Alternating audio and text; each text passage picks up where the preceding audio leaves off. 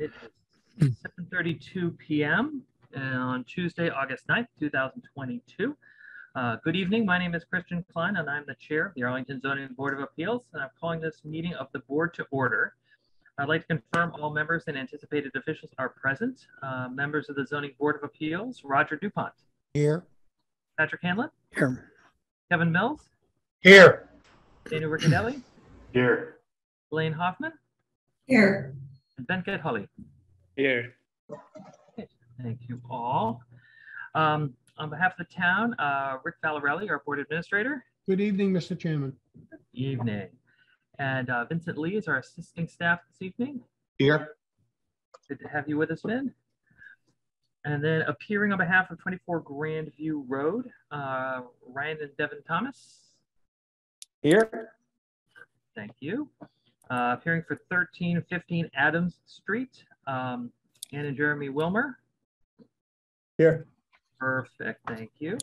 And appearing for 12 Prospect Avenue, uh, John and Althea Yacomides. Uh, here. Wonderful. Okay. So this open meeting of the Arlington Zoning Board of Appeals is being conducted remotely, consistent with an act relative to extending certain state of emergency accommodations signed into law on July 16, 2022. This act includes an extension until March 31st, 2023 of the remote meeting provisions of Governor Baker's March 12, 2020 executive order suspending certain provisions of the open meeting law, which suspended the requirement to hold all meetings in a publicly accessible physical location. Public bodies may continue holding meetings remotely without a quorum of the public body physically present at a meeting location so long as they provide adequate alternative access to remote meetings. Public bodies may re- meet remotely so long as reasonable public access is afforded so the public can follow along with the deliberations of the meeting. An opportunity for public participation will be provided during the public comment period during each public hearing. For this meeting, the Arlington Zoning Board of Appeals has convened a video conference via the Zoom application with- online and telephone access as listed on the agenda posted to the town's website identifying how the public may join. This meeting is being recorded and it will be broadcast by ACMI. Please be aware that attendees are participating by a variety of means. Some attendees are participating by video conference, others are participating by computer audio or by telephone. Accordingly, please be aware that other folks may be able to see you, your screen name, or another identifier. Please take care to not share personal information. Anything you broadcast may be captured by the recording. We ask you to please maintain decorum during the meeting, including displaying an appropriate background. All supporting materials that have been provided members of this body are available on the town's website unless otherwise noted. The public is encouraged to follow along using the posted agenda. And as chair, I reserve the right to take items out of order in the interest of promoting an orderly meeting.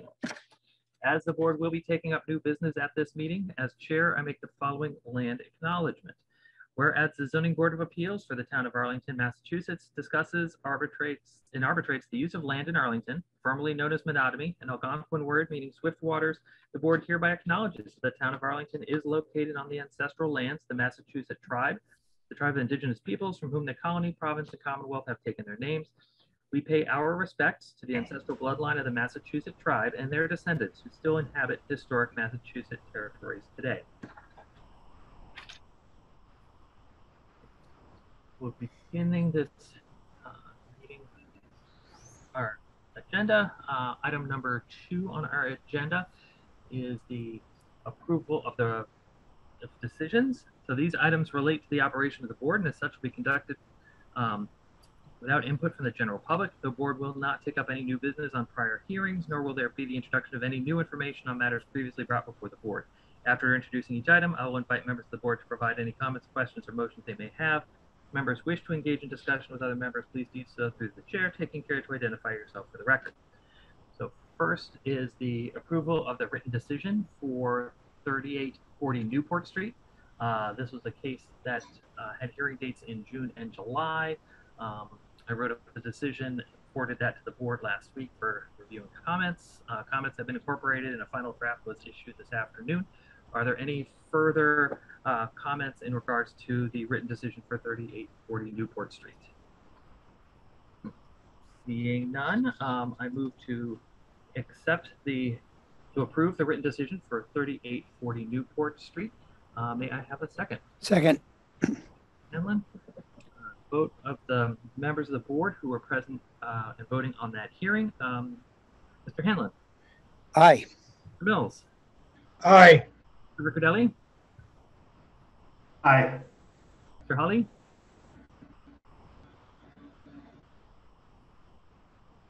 Aye. Thank you. And the chair votes aye. That is approved. That brings us to item three on the agenda, the approval of the written decision for 79 Ronald Road. This is a case that was heard um, in July of this year. Uh, It was voted on favorably by the board. The decision was written by uh, Mr. Hanlon, distributed for comment, and a revised final copy was issued uh, to the members of the board this afternoon. Are there any further questions or comments in regards to the written decision for 79 Ronald Road? Mr. Chairman, Mr. Hanlon, uh, I inadvertently, when I distributed the decision earlier on, forgot to take the draft watermark off and change the uh, and change it from sort of opinion the gray to opinion the white. Uh, And so when I move, I will suggest those two changes be made. perfect. Are there any further changes being proposed? Seeing none, I'll turn to Mr. Hanlon for a motion. Mr. Chairman, I move that the uh, proposed written decision in 79 Ronald Road uh, be approved Thank you very much. As amended by by your. as amended by my prior thing, that is getting the color white and getting the uh, draft mark off. Perfect, thank you. May I have a second? Second. Mrs. Mills? And uh, roll call vote of the members who are present voting on that decision. Uh, Mr. Dupont, Aye. Hanlon, Aye. Mills, Aye. Riccadelli? Aye. Chair votes aye. That decision is approved. That brings us to um, of three sets of meeting minutes for approval. The first is the minute- minutes from June fifteenth, two thousand twenty-one. These were distributed to the board um, and comments and, uh, were received back uh, by Mr. Valarelli. Uh, Are there any further questions or comments in regards to those minutes from June fifteenth, two thousand twenty-one? Seeing none, um, I have a motion to approve those minutes? So moved. Thank you, Mr. Hanlon. And, uh, Second, Mr. Mills? Aye. Thank you. Second. Uh, and then a vote of the members, uh, who were present at that hearing. Mr. Dupont? Aye. Hanlon? Aye. Bill? Bill? Aye. Perfect, thank you. And the chair votes aye. Those minutes are approved. That brings us to item number five on our agenda, approval of minutes from March 22nd, 2022. Um, Again, these were minutes that were distributed by Mr. Valarelli to the members of the board for their review. Um, Everyone has had an opportunity to provide comments back to Mr. Valarelli. Are there any further comments or questions in regards to those minutes at this time? Being none, may I have a motion for, to approve the minutes from March 22nd, 2022? So moved. Thank you, Mr. Hanlon. May I have a second? Second. DuPont, a vote of those members present at that meeting. Mr. DuPont, Aye. Mr. Hanlon. Aye. Mr. Mills, Aye. Riccadelli, Aye. Hoffman, Aye. Mr. Holly. Aye. Chair votes aye. Those minutes are approved. That brings us to item number six on the agenda, the approval of the meeting minutes from the April 26th, 2022 meeting. Um, the minutes They were distributed by Mr. Valarelli to members of the board for their review and comment. Um, Everyone has had an opportunity to return comments. Are there any further comments on the minutes from April 26th? Nope. Seeing none, may I have a motion to approve? So moved. Thank you, Mr. Hanlon, and a second? Second. Thank you, Mr. Dupont. And a vote of those members present for that meeting, uh, Mr. Dupont, Aye. Mr. Hanlon, Aye. Mills, Aye. Mr. Riccadelli, Aye. Mr. Holly, Aye. And the chair votes aye. Those minutes are approved. Thank you all very much. That brings us to item number seven, which is the first of our hearings this evening. Uh, Turning to public hearings on tonight's agenda, here's some ground rules for effective and clear conduct of tonight's business. After I announce each agenda item, I will ask the applicants to introduce themselves or themselves and make their presentations to the board. I will then request that the members of the board ask what questions they have on their proposal. After the board's questions have been answered, I will open the meeting for public comment, and at the conclusion of public comment, the board will deliberate and vote on the matter.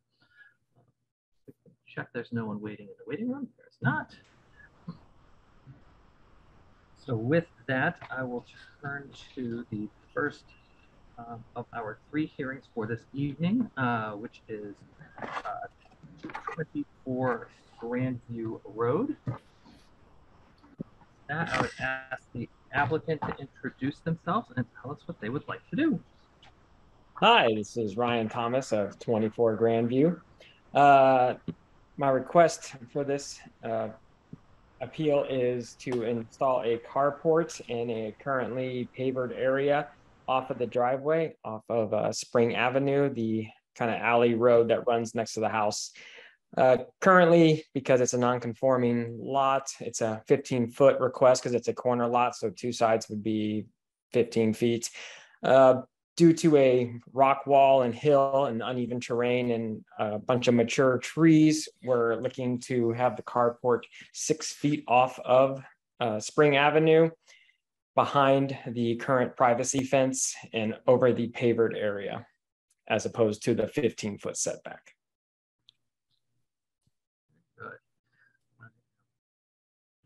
I believe all, all images and documentation were submitted. I don't have a copy to share on my uh, computer at this time, though. Go ahead and share that right now.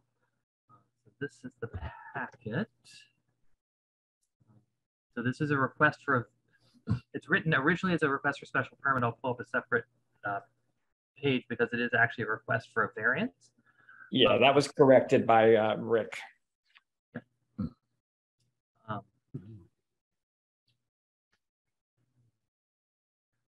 So I believe this is the existing area, um, including a trailer that's stored on site. Yep, that's the camper.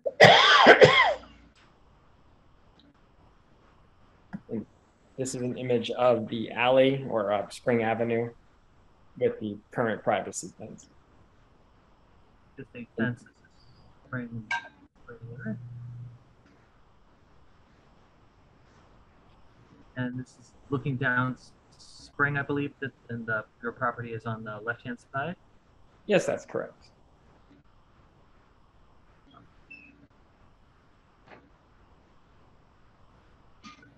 Rotate that.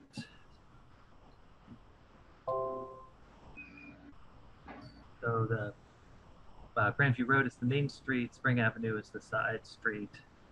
Um, and this is the proposed That's correct. You'll see it's just off the driveway right there. The uh, currently pavered area has- a six foot setback from the property line, uh, almost exactly. So I'm guessing he, uh, the previous owner had had to install it to that specification. Okay. And um, the plan doesn't include uh, the location of any trees and doesn't include any uh, topography. Um, could you sort of explain a little bit about what the, the nature of the site is? Yes, sure. The uh, if you look, the majority of the property has about a probably a 15 foot elevation differences across. It is uh, at the start of the slope. It's unable to be accessed by anywhere but the uh, the existing carport area and driveway.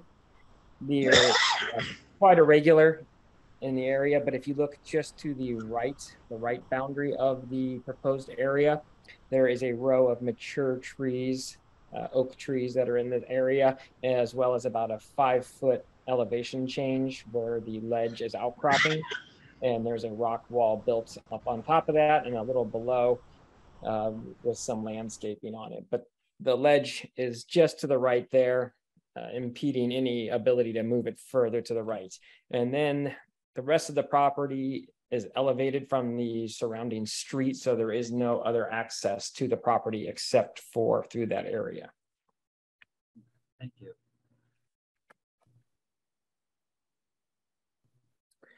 Uh, there's mature trees across the rest of the property as well, but in the area in, in question, uh, there is a mature tree at the corner of the driveway in the uh, whatever the upper left corner would be there. And then there is a nice grassy median, which will remain between the driveway and the uh, proposed area. And then there's probably about 16 feet available width uh, for the proposed carport, so I don't have the ability to move it further over to, to be 15 feet off of Spring Avenue. Uh, hence, only six feet's available with the privacy fence remaining between Spring Avenue and the proposed carport. Okay, thank you. Mhm. Um, Go ahead, you had shared some images of what the carport might look like. Correct. It is a steel structure with a dark gray uh, metal roof uh, built to the required specifications. Um, and I believe, A, this is not your house. Um, this is more of a generic image, is that correct? That's correct. These were images provided by the, the carport company. Okay. And then I believe um, that the request is is for simply for the roof and the open sides. Um, I know you have provided some other images with a partial side or with full sides, and I just wanted to confirm that the request was was simply for the the open sided structure. Yeah, that's correct. That's what I prefer. I just provided the alternatives in case there was a requirement for any type of uh, siding. Perfect, thank you. Um,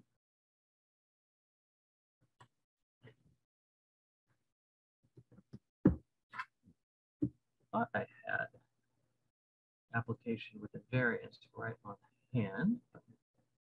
No, so just checking.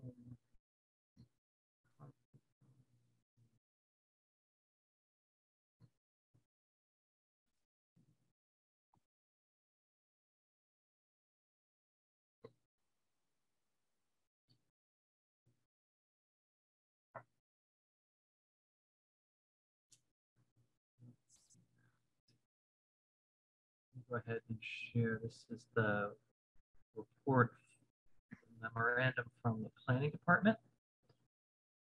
In regards to this application. Um, So they note that the applicants are requesting a variance for a reduction of the front yard setback for an accessory structure in the R1 zoning district from 25 feet to 6 feet. Carport will be located to the right of the existing driveway access from Spring Avenue, comply with rear and side yard setback requirements of 6 feet. And lot coverage would increase from 17% to 20% of the proposal. That's I. I do have one correction. It is a non-conforming property, so it was a 15-foot requirement for the setback. For the front yard setback, That's correct. so I believe the rear yard setback varies by the depth of the lot, but I'm pretty sure in the R1 zoning district, the front yard setback remains 25 feet. Okay. I, I was just told when, in my initial call, uh, just because it was a non-conforming property, if I could make it 15 feet, that would work. Oh, I Uh, see. Um, so the, and then, so variances, there are four criteria, and the criteria are set under state law. Um,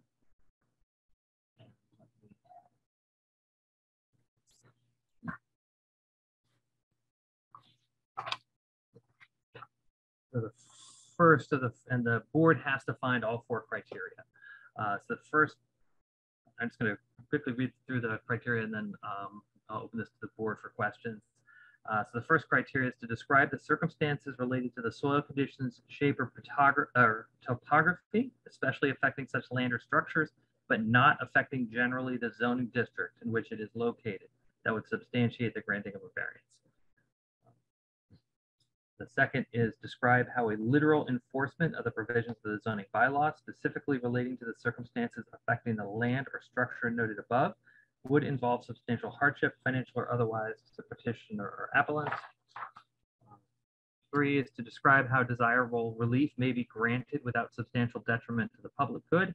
And then describe how desirable relief may be granted without nullifying or substantially derogating from the intent or purpose of the zoning bylaw of the town of Arlington.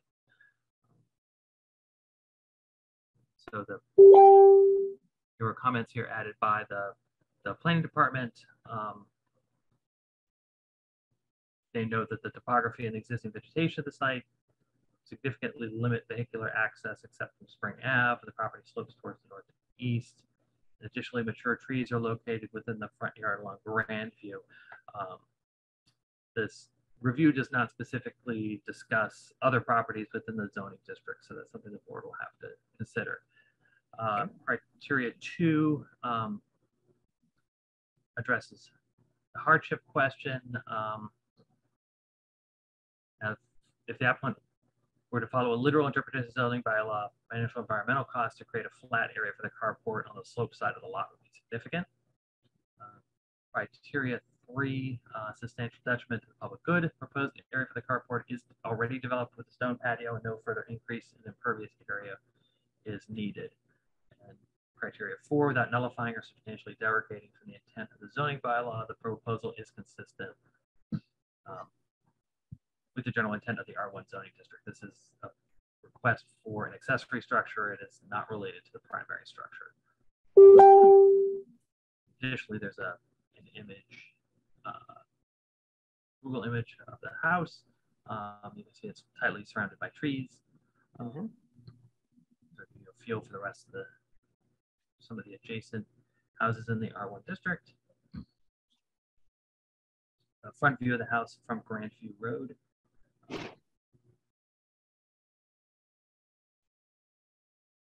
then this is a view from below on Spring Street. the, the trees that are right on the edge of the street. Um, that's some of the other trees that are on the, the site as well.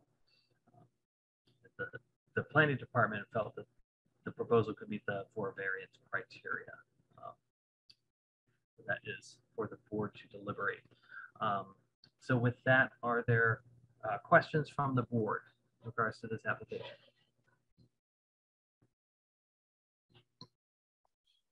Mr. Chairman, Mr. Cornelli?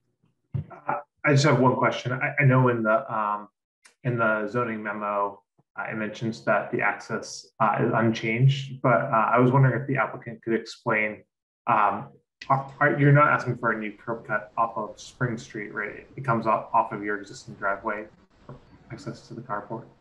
That's correct. Access would be off the right side of the driveway, creating a bit of a T, but uh, separated by a grass barrier. To Got it, okay.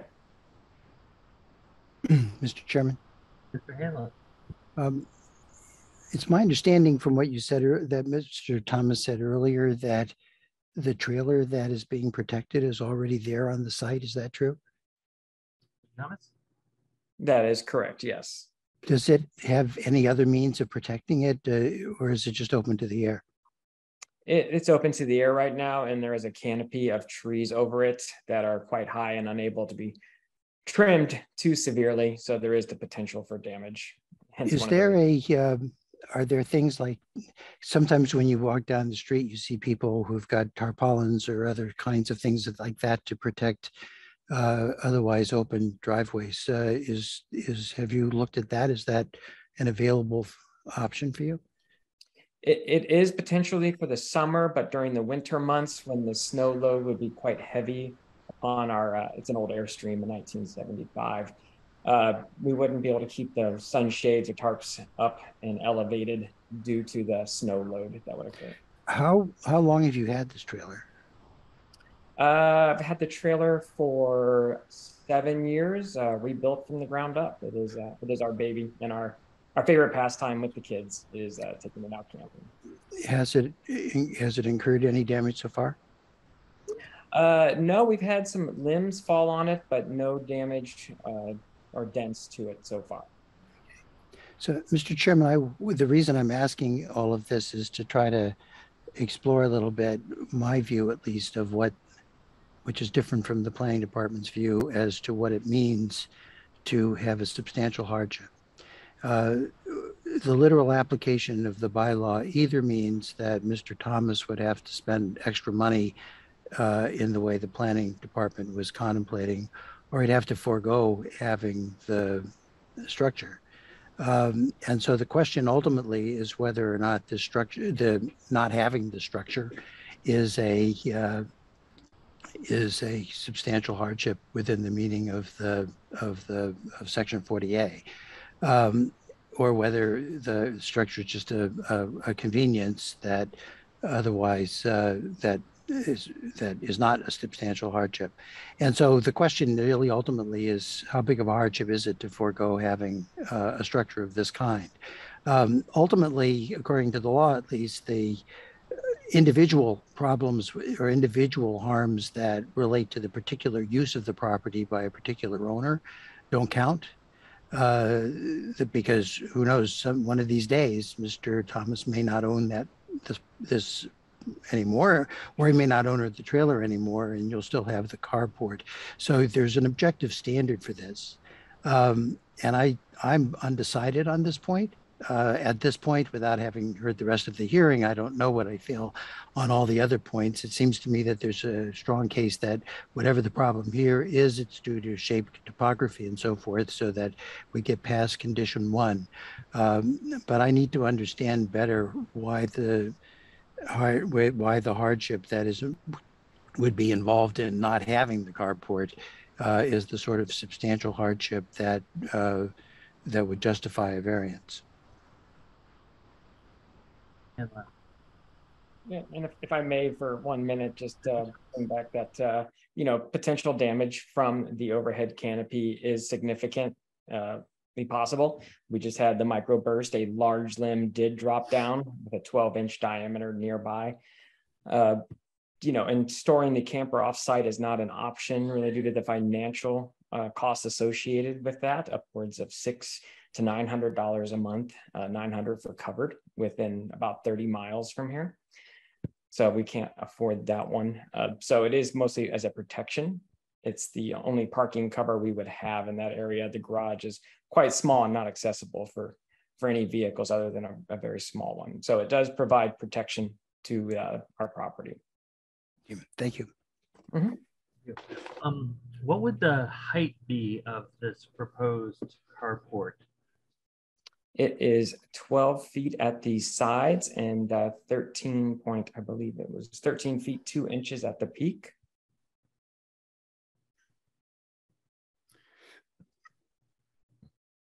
And that gives sufficient clearance for the trailer underneath?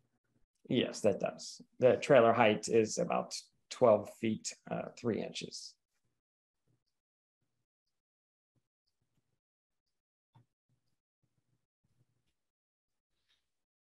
So on the image that we had seen before of the trailer pieces, not anticipated that the canopy would be significantly taller than what we're seeing in this image? Yes, it would. Uh, there would be that that foot and a half for the trusses to go up under underneath the uh, roof structure. So it would be about a foot and a half taller than what you're seeing now. And the access to it would be through the existing driveway where the truck is parked today? Yes, that's correct. And then a, a gate will go up across on the right there that would all be covered. Okay, but this fence here would essentially remain unchanged. That's correct. The uh, the the actual area, I think the six foot line is is about two and a half feet on the other side of that fence.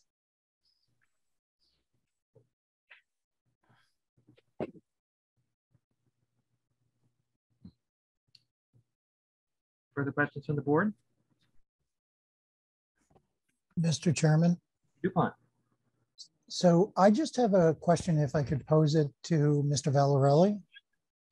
Um, and um, Mr. Valarelli, are you are you there?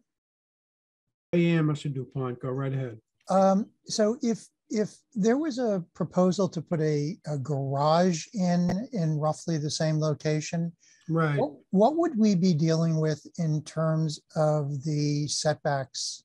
He has um, a pre I'm, I'm sorry to interrupt you, but I think I know where you're going with this. Yeah. He has a pre-existing non, non-conforming front yard setback of 15 uh, plus feet. So we would have to maintain that.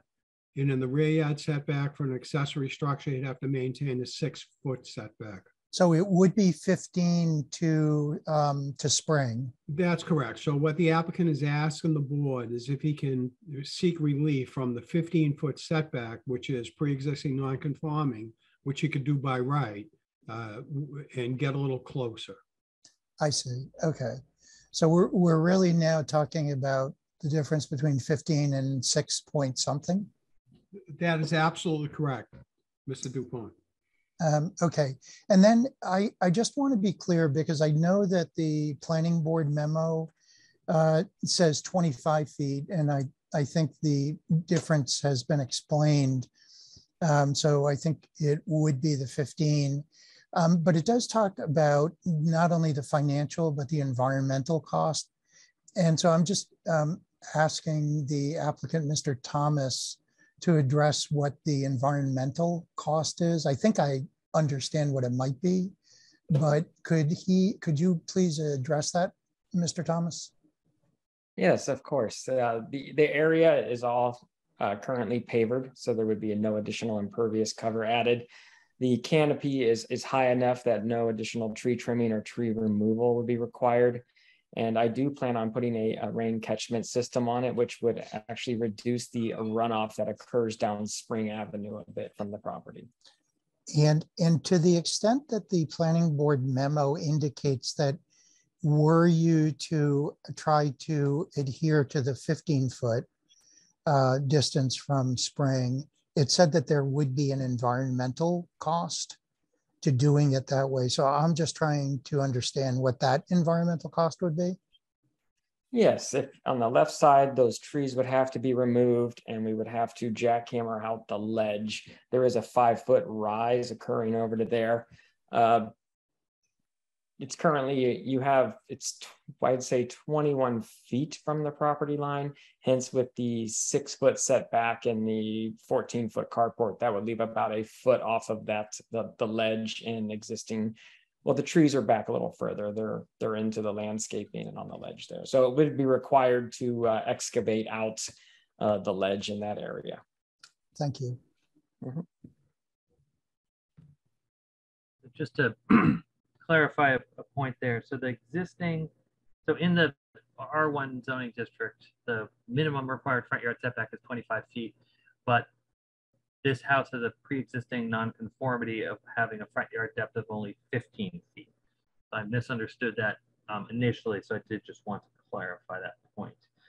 Um, and so basically the applicant is looking to reduce the uh, the front yard setback uh, from 15 feet to six feet, uh, which is uh, from which is already in a pre which are, is already a non-conforming setback. Uh, further questions from the board?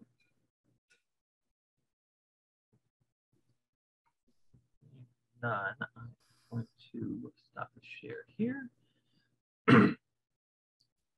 go ahead and open the meeting for public comment. So um, in opening the meeting for public comment, public questions and comments will be taken as they relate to the matter at hand and should be directed to the board for the purpose of informing the decision. Members of the public will be granted time to ask questions and make comments. The chair asks those wishing to address the board a second time during any particular hearing to please be patient and allow those wishing to speak for the first time to go ahead.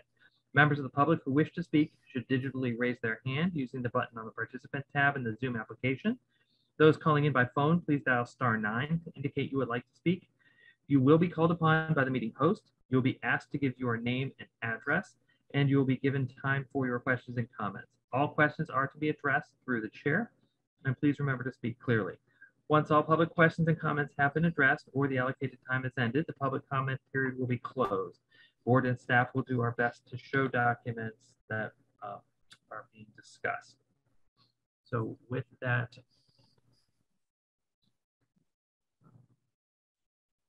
are there any members of the public who wish to speak to this particular item?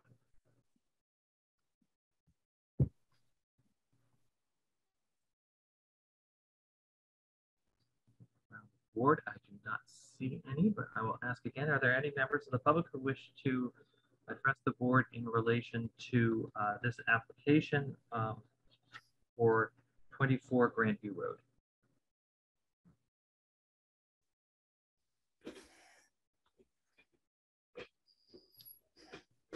Seeing none, I will close the public comment period for 24 Grandview Road.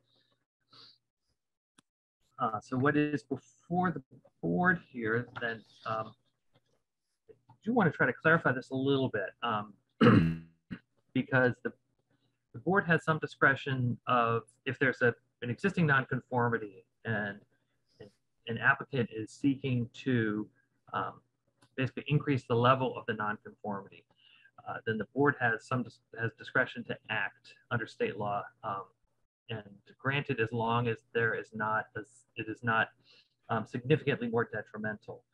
However, if there's a new nonconformity that is being proposed or um, something that creates a new conflict with the zoning bylaw, then that requires a variance. So, so I did want to um, just quickly, Mr. Valarelli, if I could um, just confirm this. So um, the creation of, so the, do we have any documentation of allowing the creation of the front yard parking area? Uh, we do, Mr. Chairman, the- the applicant due diligence, uh, resubmitted his application in the variance form. Okay. So is there an existing, so the, the parking that, that parking space that's currently being utilized in that front yard facing Spring Street, so that parking area is not permitted at the moment, is that correct? That's a great question. So the, um, the, the, structures or the parking areas, if you will, are, um, based on does it have a roof or does it not? So a driveway, um, would be allowed by right, um, with the new bylaw change with a minimum buffer. But because this particular structure has a roof, the, uh, the board has to look at this as if it was a garage, if you will. Uh, So therefore, that's why the applicant is before the board. So ISD looks at structures roofed or unroofed. In fact, it's written in the zoning bylaw several times with that description.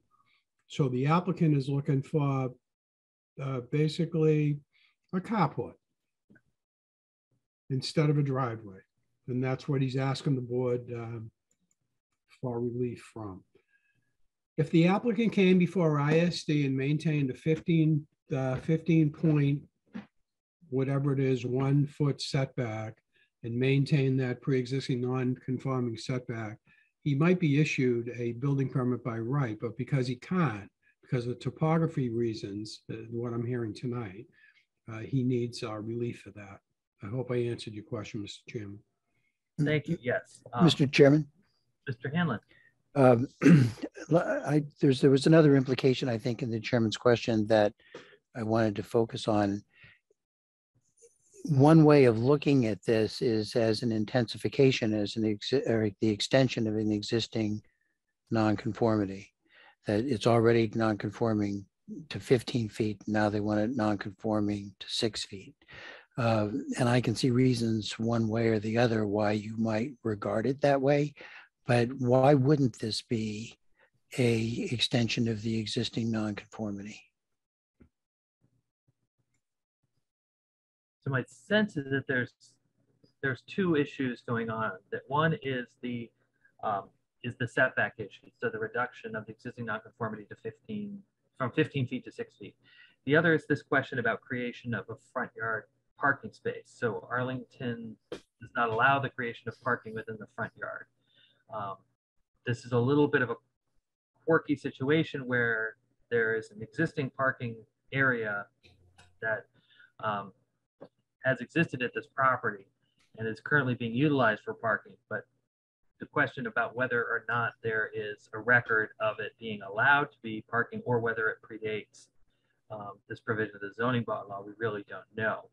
Um, and that's part of what I'm a little uncertain about is are we being asked to not only allow the structure, but are we also being asked to um, allow the the use of the front yard for parking in this in this case, which would require the variance.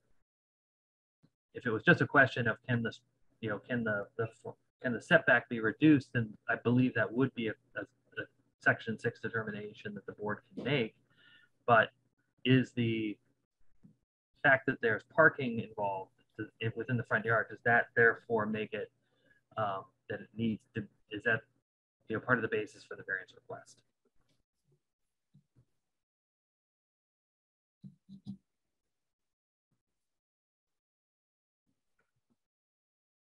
And in this case where it's, you know, it's an existing, it's basically an existing front yard use um, that the board has no knowledge of how it was created. I, I don't know if that creates an issue for us or not. Mr. Chairman, Inland, the issue really, it seems to me the issue with respect to the parking, I mean, the applicant is allowed, once he's got a driveway there, to park wherever he wants. Mhm. Uh, So it's not a regulation issue in that. The question is whether or not this would be sufficient to require the, to meet the parking standards of the, of the zoning bylaw. And uh, the rule is, is that, is that, that, that those things don't count. You, you can't have the regulation parking located, uh, located there.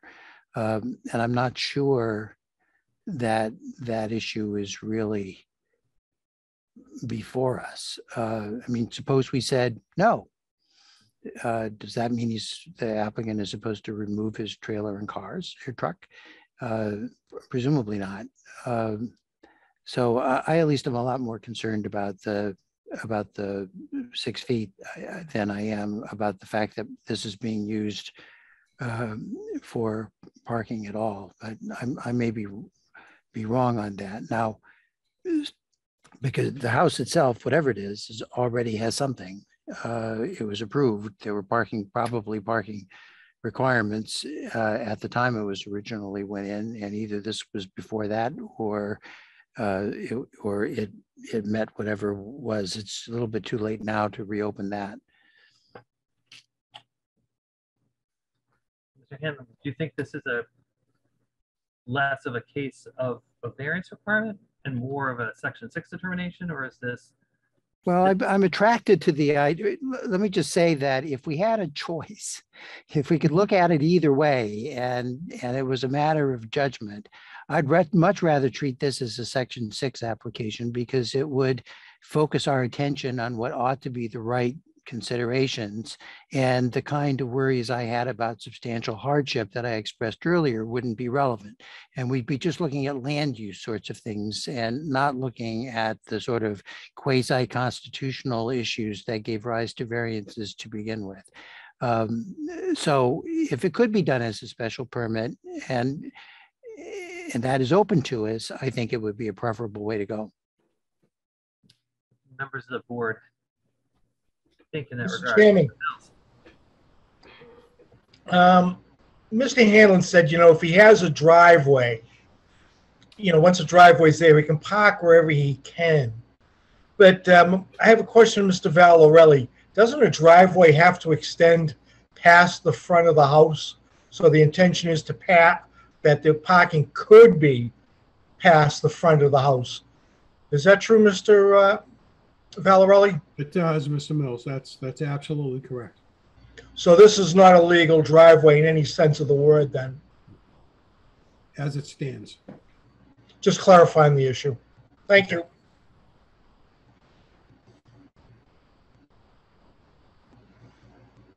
So Essentially, the driveway needs to lead to legal parking um, by definition, and in this case, the driveway does not lead to legal parking, um, except for the parking that is uh, under the house. Um, And so in that regard, uh, Mr. Hanlon, does that change your opinion about what we're trying to accomplish? Well, it's troubling. Um, I- the record isn't. I, I think it's troubling, although it doesn't really directly issue, deal with the issue that, that I'm concerned with. In other words, as the chairman pointed out, uh, this does involve two distinct issues. One is the location of the parking, where which has got a dis- distinct set of considerations, and the other has to do with the extension of the existing nonconformity that comes from from essentially intruding more into the protected front yard. Um, we could solve that last part, it seems to me, by treating it as an extension of existing nonconformity, and there would be some good practical sense in doing so.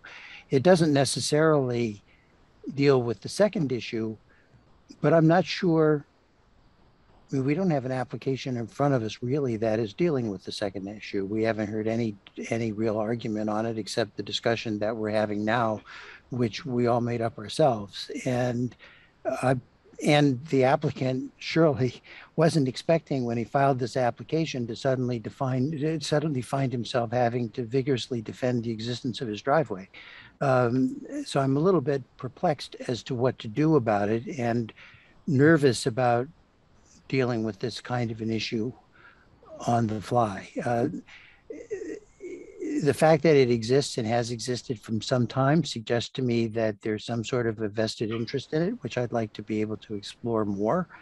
Um, but I'm ner- it, it troubles me to suddenly entertain this other this the, this issue, uh, and uh, without having much of a basis for it, without having. I mean, I I would like very much to get more information about how this got to be here and why it's here and so on. If it's a mistake by, if it was a mistake by ISD or its predecessors earlier on, there are provisions about how long you can have to challenge those things. All of those are things that have not been developed on our record that I'd be reluctant to to jump into right now. So from my perspective, the the board has had several applications recently uh, for variances in regards to parking. Um, on the- Avenue, prior one on Summer Street. Um, I think, has done a fairly good job of sort of exploring these and discussing them, especially as they relate to public safety um, and the necessity of the of the property and the you know, for how those those work together. Um, and in some ways, I'm a little more comfortable in, in regards to the, the application um, to say that, you know, that, that the board could consider, um, you know, the location for the structure as a variance criteria. Um, and then the, the structure itself would just be a section six determination because they're essentially right that back. Um, creation of a new structure under uh, grade variance, I guess, you know, at that point, it's, it's sort of, you know, point, it's really very similar considerations. Mr. Chairman, I th- at least I'm having a hard time hearing you. Yeah, beg your pardon. Um, was just. saying- let me get my, uh, it's Clear, um, the, where the board has experience in regards to variances for parking, I feel a little more comfortable sort of discussing and using this parking area as a, doing that discussion as a variance, the question about the structure, and then the structure then just an extension of that same conversation, or is it a separate? Sense is that it would all be sort of part of the same piece. Um, But the, and then the question really becomes, does the board have sufficient information for the record to satisfy the request for a variance? Um, There are certainly attestations in regards to the remainder of the site, um, how the site goes up, how the site falls away, um, the the trees on the site. And the documentation we have for that um, is included in the images and in the, the planning department memo. And those are sort of the basis for the first of the four variance criteria. So if we're comfortable with that record, um, board should continue um, along the lines of a variance at this time. If the board thinks we need additional information or uh, is, is concerned about that, then we should figure out what it is that the board would need it to be able to reach that decision. Mr. Chairman? DuPont, So when I went by, I did not look at the driveway per se. So is there at the end of the driveway, I'm sorry, did somebody just refer to the fact that there's parking underneath? Mr. Thomas, Yes, there is a, uh, it is an exposed basement, so the basement is partially, uh, buried, but not on that side because it slopes down and it's exposed. There is a small carport there, not carport, sorry, a small garage under Okay, the house. okay, so, so that's, that extends beyond the driveway, obviously. The driveway leads to that uh, garage space. So not to get too far into the weeds here, but as I'm listening to other members of the board, I mean, it, it, it sounds like if you have a driveway and it is there and has been there for a period of time, yet there's no record of how it got there in the first place, because there's no finding that it was either in conformity with whatever the regulations were at the time that the house was constructed, or there's no variance request saying that we need to be able to park here because of the placement of the house on the lot. Um, and I'm not sure that that's actually true, but in having looked at the lot, it does seem to me that there might be some merit in arguing for a variance for a driveway. And I'm not suggesting that that's what I think that the applicant should do now, but I'm just trying to think this through. So if there is either no record of how the driveway got there, um, are we looking to see then in order to make a determination um, how it got there? Because is it not logical that if we believe that the driveway is there, but we're not sure whether it's appropriately there, that we can't move to the next step, which is the analysis as to whether it's an extension of an existing nonconformity? Is that, Mr. Hanlon, is that how you see it? Yes, Okay.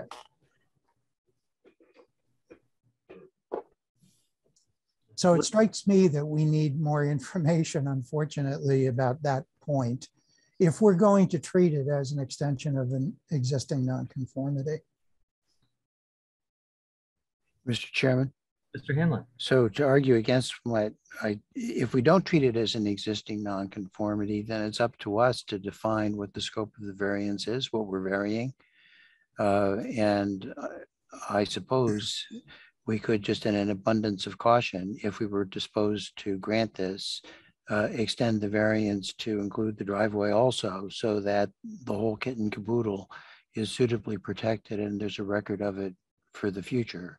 And there, there at least is a, is a uh, practical advantage to proceeding in that way. You know, I have to say that at, the- on the basis of what I've heard so far, I'm pretty comfortable with either a variance or with the extension or with the other theory of extending a non-conforming use. Um, The primary prob, I do think that there is some issue with respect to the variance that I'm more or less satisfied with, but I hate to stick precedents out there on the variance because you know, they're influenced a lot by the influ, by what happens at these hearings and afterwards they don't necessarily line up very well. And, um, but that being said, I could go either way and I'm not, I'm not, eh, neither, neither thing makes me feel as if I ought to vote to deny this application on the basis of what we've heard so far. Mr. Chairman, No. following up with Pat and Mr. Hanlon's analysis on precedents, um, I think us allowing um, someone to build a driveway in the front of their house and making it legal by variance, et cetera, could be set, uh, setting a dangerous precedent. And uh, other people could come marching in and say they want to start building driveways and you allowed it here. Why can't I have one? Uh, I really am sympathetic to the applicant's uh, proposal, but you know, once we say one person can do it, there's no stopping anybody else from doing it. And uh, then the zoning by, uh, code has basically got huge holes in it. Just my opinion. Thank you. Thank you. So I think that would, the, the board would need to very carefully consider the first criteria for variance. Um, What are the, the circumstances particular to this plot, but not affecting generally the land in the district? Agreed. that would lead to this decision. And I think the board would need to make a, you know, a strong and definitive finding in that regard to make sure um, that the board is clear for the reasons it is acting the way it's acting on this application, where it may not act similarly on other applications. Right, Mr. Chairman, Mr. Hanlon, um, so in light of that, I just can say where I am personally on this is that I, when I went out to go look here, I didn't look with this in mind. And I am not hundred percent, I mean, I, I, it, it may be that I had the opportunity to, to, to study this, but I hadn't, I didn't do it. Uh, so that's, makes me reluctant to face this issue tonight. Um, the second thing is, I'm still a little bit hung up by having, but this is, this may be an illegal driveway. I don't know whether it is or not. Um, But it- I'm guessing it's been here for quite some time. Uh, Certainly at least seven years because Mr. Thomas has had his trailer on it for seven years. And Sorry, Yep. just, to clarify that, we, we moved in a year ago. Uh, we've had the camper for seven Oh, years. I see. Okay, well then, I, I just wonder how long it's been there, because if it was, it's, it seems to me more likely to be a mistake uh, on the part of the town government if it's illegal, rather than a bootleg driveway that somebody stuck there because, when he didn't have any driveway before and was just park, parking on the street. It's just a guess on my part, but if it was in fact a permit, uh, there was a building permit and this was, and that was part of it. And it's more than a certain distance of difference away in terms of time, then it can't be challenged anymore. And uh, I don't regard what's happening now as an intensification of that use. And so to me, it- that issue would then go away. It would be an- another, these things happen all the time. uh, And eventually there's peace. It doesn't make it right. It doesn't give you the right to extend it necessarily. But, uh, but it does, it does remove it from the list of precedents that we might be concerned about. And I don't really know anything about how long that driveway has been there and why it was there and where it was put there. And none of the rest is, is in- probably even Mr. Thomas doesn't know that. And I, and I doubt that we've looked. I hmm. mean, If, if I may, interestingly, there are three driveways off of Spring. I am one of, of three, so precedence was set at some point, and it is an existing uh, garage that was built into the house uh, with the existing stone. So I would say from 1937, there has been access there. And if that's true, then I don't know why we we're dealing with this. I mean, at that point, either it's a prior non-conforming use, or if it's not, it's been there for such a long time that it's no longer subject to challenge. um, Mr. Chairman. Mr. Mills, Yes, but what's being proposed here is not simply maybe um, a driveway that is non-conforming. You're looking at a building, a garage, if you will, that's going to be built uh, in that area. So again, uh, the variance would have to be very tightly written to make sure we're not setting precedent for people building garages right on their property lines, if you will. Absolutely. Um, Mr. Valarelli, do you know what the, the time period is uh, to a, after which a, a uh, you know something is constructed after which point it's allowed to stay by law? Um, Mr. Chairman, I don't. So the question before the board tonight, if I may, is, Mil- uh, Mr. Mills is um, very accurate. Because the applicant is proposing a roofed carport, it is, it, it is not the same as a driveway, uh, front yard parking. It is in fact a garage. So I think the board should consider that this carport has four walls and a garage door. I think that is the question posed before uh, the board. Uh, i- i- if in fact the applicant was to extend just a driveway, um, we wouldn't be here tonight. So I hope that helps you uh, navigating your decision. Thank you, Mr. Valarelli.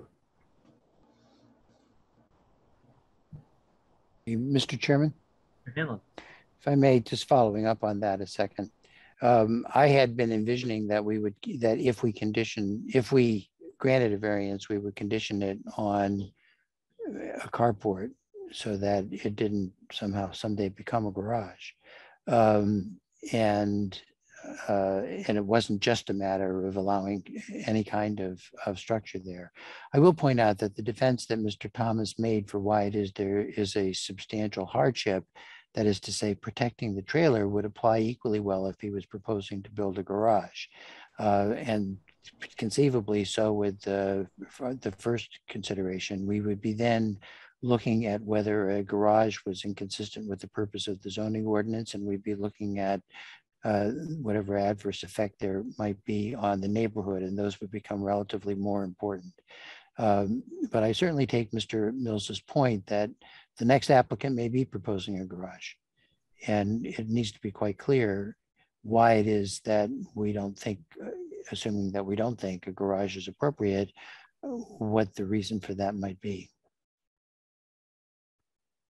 So is the, this is the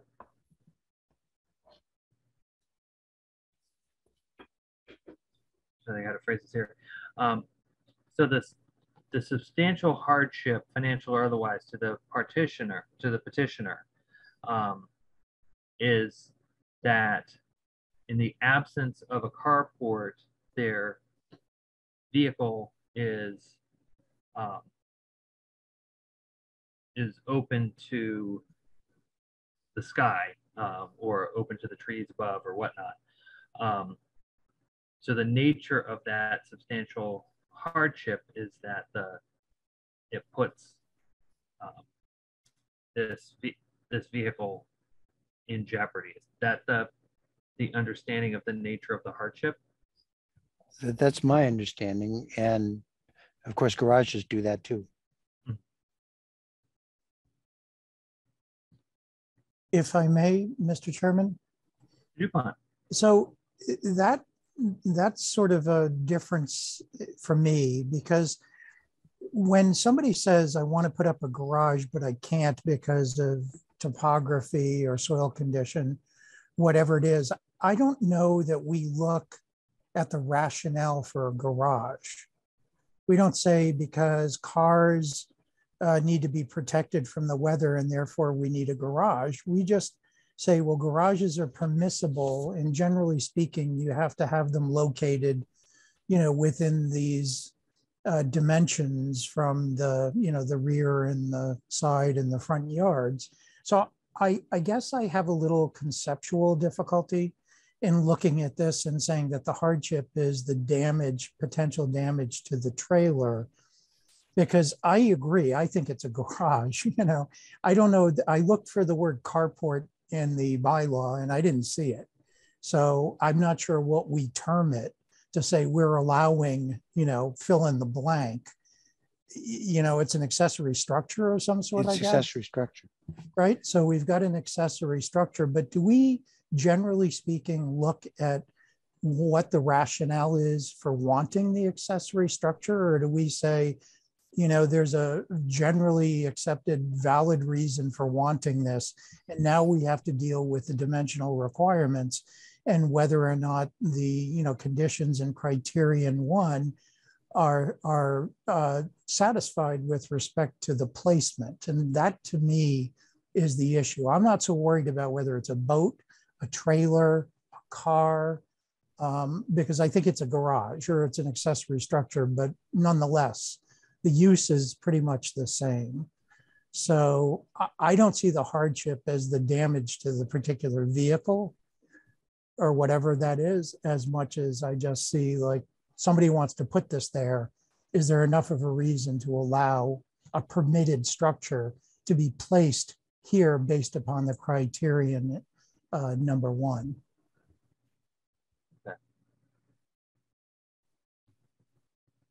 Um, Mr. Thomas, do you have a, I, looking at the drawings, do you have dimensions for the carport? I don't see dimensions listed.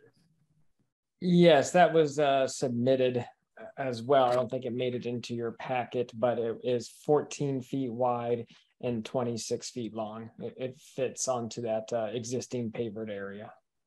Okay, thank you. And, and you had said it was uh, essentially 13 foot two, I believe. Yes.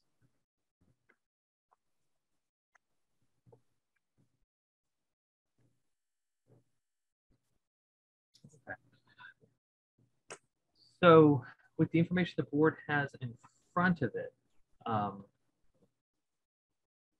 do we is do we feel comfortable proceeding with its direct discussion of the, the four criteria for variance, or do we feel we need to um, to request some additional information, or is there concern that the variance is not the what we should be proceeding along the lines?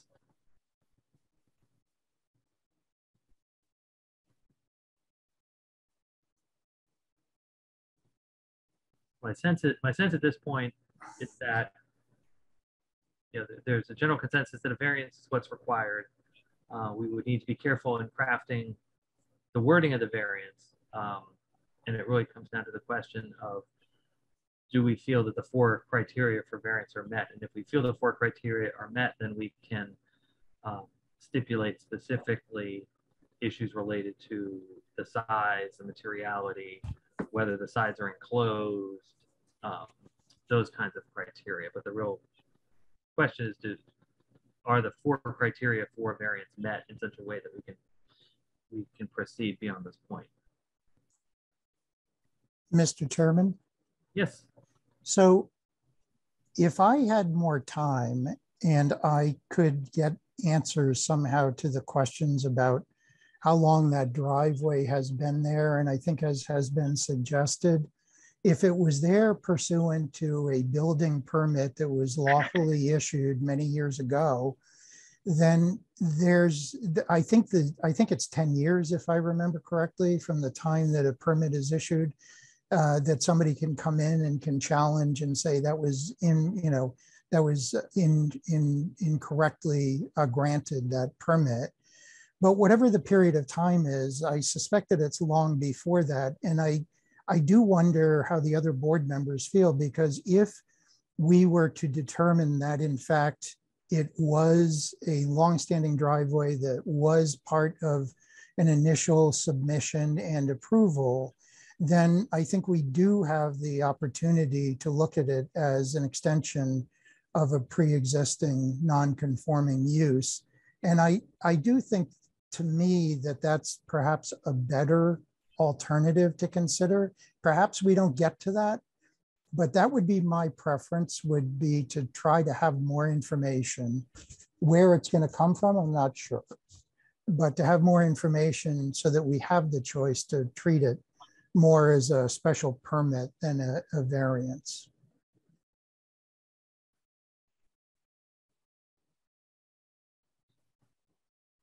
Chairman, Yes, sir. that, that, just to say, that would be my preference as well. And we could work out what, and we could think in the next few weeks uh, of what would happen if we don't actually have that permit, but we are convinced that the driveway has been that, been there that long, that long a time.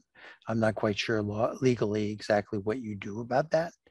Uh, but my recollection is that under some circumstances, it's seven years, and other circumstances, it's 10 years. But obviously, this is this has almost certainly been here a long, lot longer than that.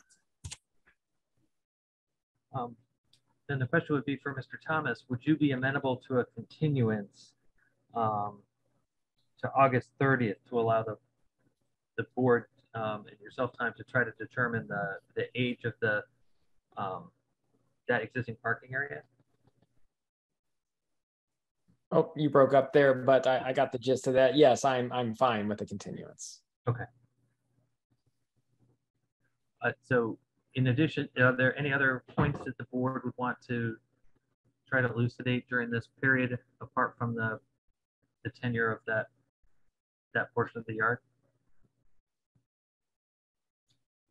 Seeing none, um, then I think I would entertain a motion to continue uh, the hearing for 24 Grand View Road until Tuesday, August 30th at 7:30 PM. So moved. Thank you, Mr. Hanlon. Second, Thank you, Mr. Dupont. Uh, So this would be a vote of the board for continuance. Um, Mr. Dupont, aye. Mr. Hanlon, Aye. Mills, Aye. Riccadelli, Aye. uh, Ms. Hoffman, Aye. and Mr. Holly. Aye. And the chair votes aye, so we are continued on 24 Grandview Road. Uh, Mr. Chairman, Mr. Hanlon? could I suggest that we, we uh, consult with Mr. Heim on this as well? It would be, it, it would be valuable to me at least to have his guidance on how to work our way through this. Certainly, we can discuss this with counsel. Mr. Chairman, Yes, good evening. My name is Dean Iocomides. I'm representing John and Althea Iocomides, and Mhm. I'm also here with Savina Iocomides. Um, I understand we're on the agenda. Um, am I keeping her up too late? is there any way we could, uh, switch us next just because it's getting late and she likes to be, she would like to be in the meeting? Um, then I would, uh, ask the Wilmers if they would, I'm, s- I'm sorry? I was just asking the, to the Wilmers are the, would be next, but they have, they are fine with doing that. Yep. Um, We- So in that case, we will move to the next. Thank you very much. We appreciate that. Certainly. So then the next item we would take up would be docket number three seven zero eight twelve Prospect Avenue. So with that, I will uh, bring up the documentation for that, but in the meantime, I can ask you to uh, introduce yourself and tell us what um, you are interested in doing. So, um, my name is Dean Iocomides. I am, uh, John Althea's brother. I'm also, uh, their contractor. And I'm here with my client and my niece, Sabina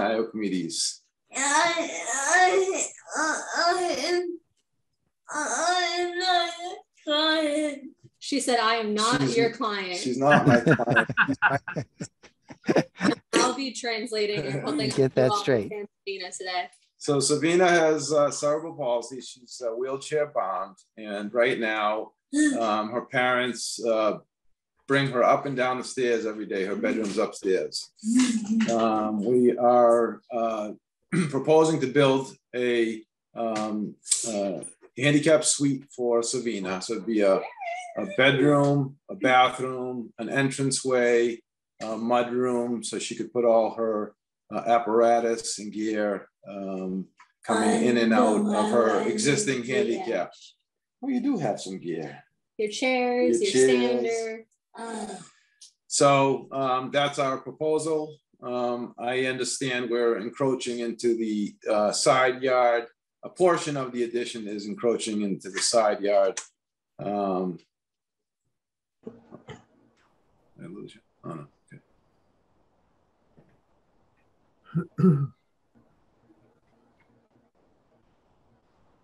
Site plan, I think is the last sheet.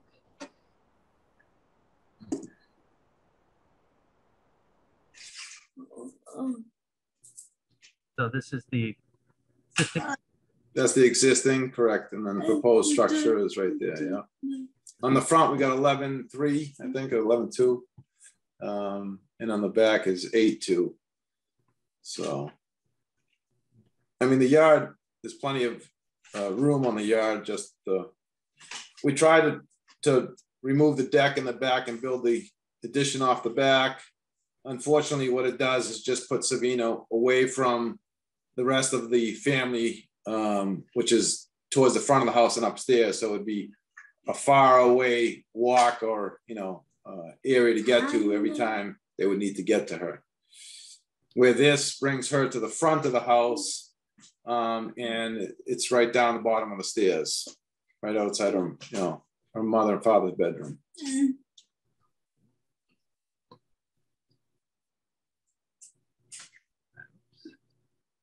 I was That So this is the in house, Yep, Prospect Avenue, correct. existing first floor plan. So on the first floor, um, what are the purposes of these rooms currently? So one, one's a living room, one's a dining room right now. Okay. So the living room, and then that's a family room back there. Oh, So, and that's a kitchen area right where your uh, pointer is right oh, now. Oh, okay. Perfect, Okay. So kitchen- what, we're yeah, we're gonna become, the living room's gonna become her bedroom. And then the, One too far, sorry. Yep. yeah, right there. the the I'm uh,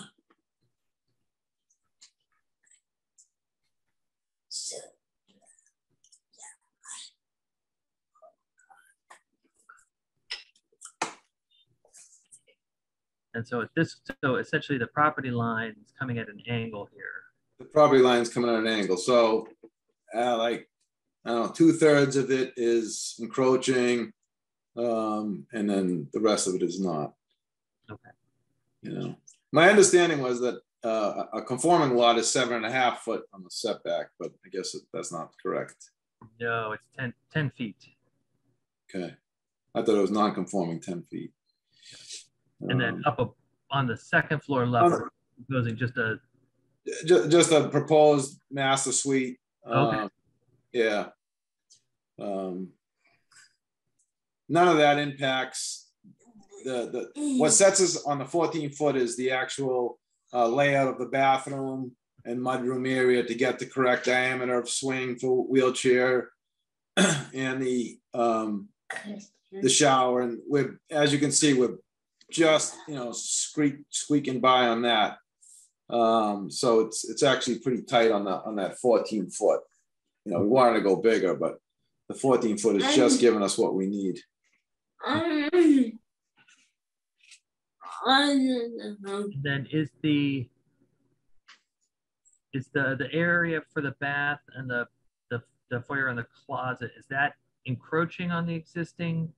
um, I would say like half, uh, you know, a portion of it. So, you know, the front mudroom, no, but as you get closer to the where, where the toilet area is, um, you're probably just touching, and then you know the rest of it goes in. So, you know, if we took the building and cut it on a diagonal, stepped it back, then it, I think architecturally it would be horrible, especially when the roof lines, you know, came up to the roof line. So, you know, it- what's driving it is the front room at that 14 feet. If we bring that in, you know, and we could bring, we could step the back, but I think just architecturally it'd be, and, you know, coming in from the side of the street, you could see that, you know, uh, clearly. So, And so it's, this portion here would be. that's correct. And then, um, how would, where would the access be up to the, So see, right there, there's a ramp. There's a ramp right in front of her house right now. And then it, it actually comes in, swings where that, the entrance is now, and then turns into the porch and then goes across the porch. But there's a, there's a bump on the threshold that goes into the, the main house. There's a three inch bump, so they have a curve. Um, and then, you know, coming into the doorway, if you look at the, the plans, it's, it's really tight. Yep. Um, with this, we're gonna bring the ramp flush out. We will have a zero clearance threshold. Um, and then, um, you know, she'll be able to go in and out of her own suite. Um, and, you know, she has a, she has a PCA that comes in and, and helps her. Um, and it would be perfect. They can come right in and out the door.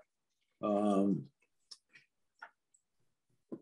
and it just, uh, um she'll be ready for school in the morning, get on the bus, right? What time does the bus come? Construction detail. Eight o'clock. Eight o'clock, eight o'clock, No, eight o'clock. eight oh four. No, Um, the- so the the new entry sequence would the porch extend in front of the new addition, or would it just be? So there'll be a little porch in front of the addition and then the uh, handicap ramp that's not drawn in there would be uh, on there. So there's a handicap ramp that runs parallel to the porch, to the front porch, swings, there's a landing, comes over to another landing and then goes onto the porch, like right to the left of your cursor. Okay. um, and then goes into the house. So basically, we're gonna extend the landing of the ramp, and then there'll be a little porch coming into the front. Okay. So But it it, won't, it won't come back, it won't come past the uh, setback, okay. And, the front setback. uh, um,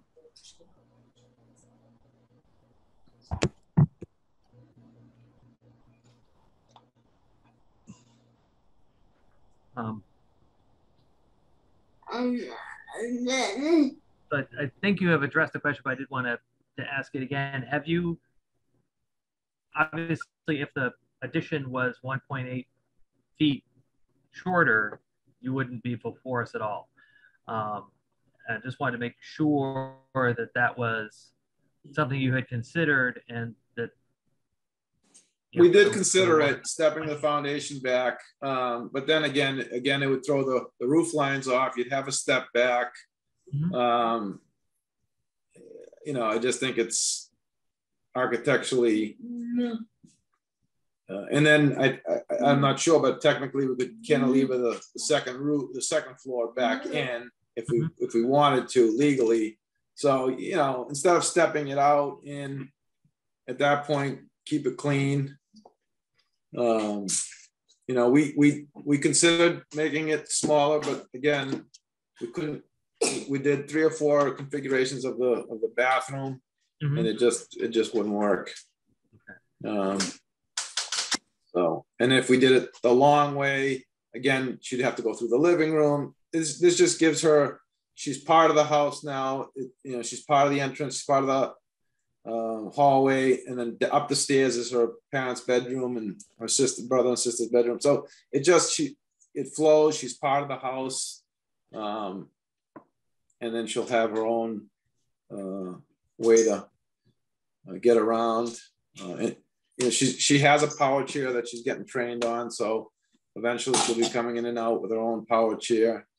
Um, we're gonna put a forty-two inch, uh, you know, front door, uh, probably with a ADA access opener.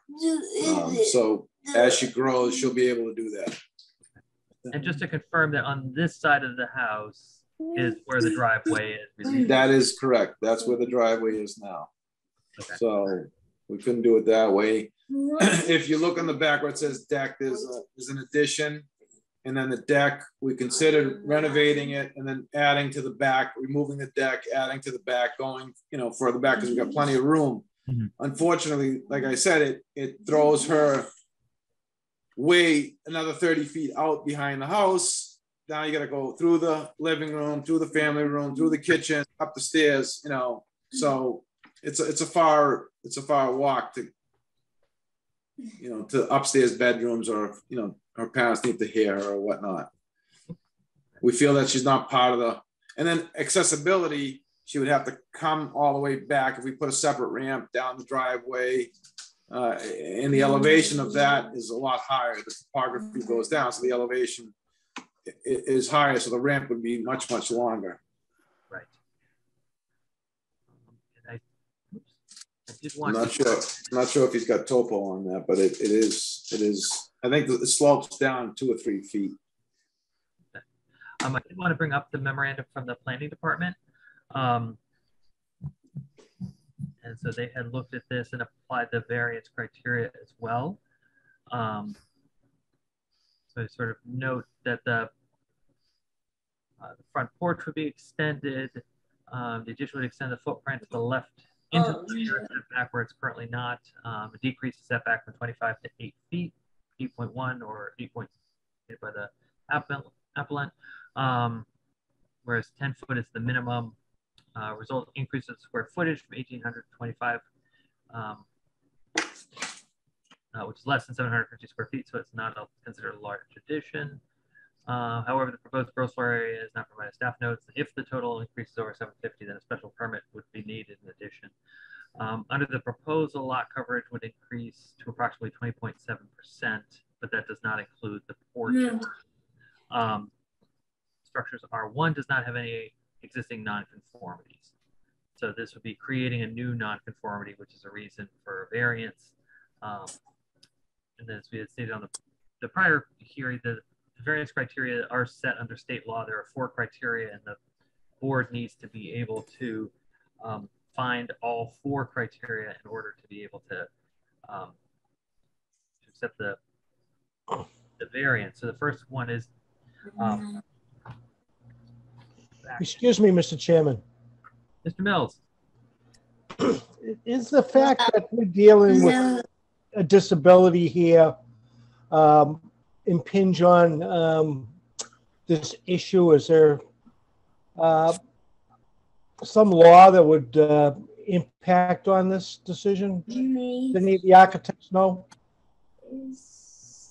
So I would ask Mr. Valarelli if he's aware of anything. I'm unaware of anything specific.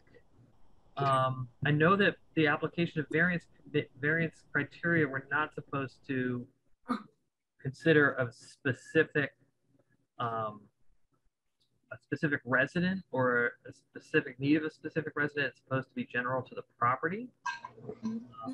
Uh, wasn't sure, and I would ask Mr. Valarelli if it's particular to uh, to this circumstance you want to do.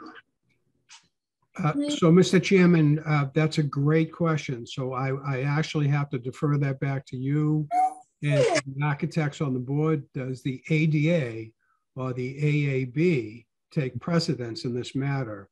Um, A, an analogy would be if a person came to the building department to put in an accessible ramp and it uh, looking at it at face value needed a variance? Well, it would not, because it in fact helps the uh, person who needs assistance to get from point A to point B, and that would be by right. Um, so this is a little bit above my pay grade, so I have to defer to the architects to look at the AAB and the ADA standards uh, and make an assessment if this may be applicable to that. Uh, Mr. Mills, great point. Thank you. don't think, I'm trying to remember now, I don't think the A- the architectural access board requirements specifically relate to single family housing. Yeah, Mr. Chair, I, I- I agree. I think I, um, at, at least in my experience, ADA is, uh, for public spaces and public buildings. Um, and then FHA would, um, determine, you know, uh, housing development. Um, I'm not aware of a specific, uh, law that would apply to single family uh, residential, uh, in terms of accessibility. Um, but I, you know, I may not know every single one, so. Thank you, Mr. Chairman and Mr. Riccadelli. I appreciate that. Um, so the the memorandum that was prepared by the planning board does not um, spec- I do not believe it specifically addresses uh, that question. Um, so there, they say that the soil conditions, shape, topography, the lot do not limit opportunities for expansion in a manner that conforms to the current dimensional requirements. As the applicant himself had noted, there's room in the front, there's room on the right, there's room on the rear, and there is um, uh, shy of 12 feet of space, um, or just over 12 feet of space uh, to the left that they could expand and stay within within the requirements of the zoning bylaw. Um, and there's, but that there are specific um, desires in regards to the interior layout of the house that are driving the determine the decision to locate it on that side of the house. Um, uh, for hardship, the addition will primarily family member um, wheelchair, though the setting of the house on the lot limits the opportunities for expansion into the side yards. It's likely the proposal could be revised to comply with the dimensional requirements. However, substantial modifications to the existing structure may be necessary, given the need to construct additional living area that meets accessibility standards, which could be cost prohibitive. Um, criteria three is without substantial detriment to the public good. Um, proposal addition would encroach at 1.9 feet, would otherwise be in character with the abutting homes. Uh, property, property can accommodate the addition without compromising the public good.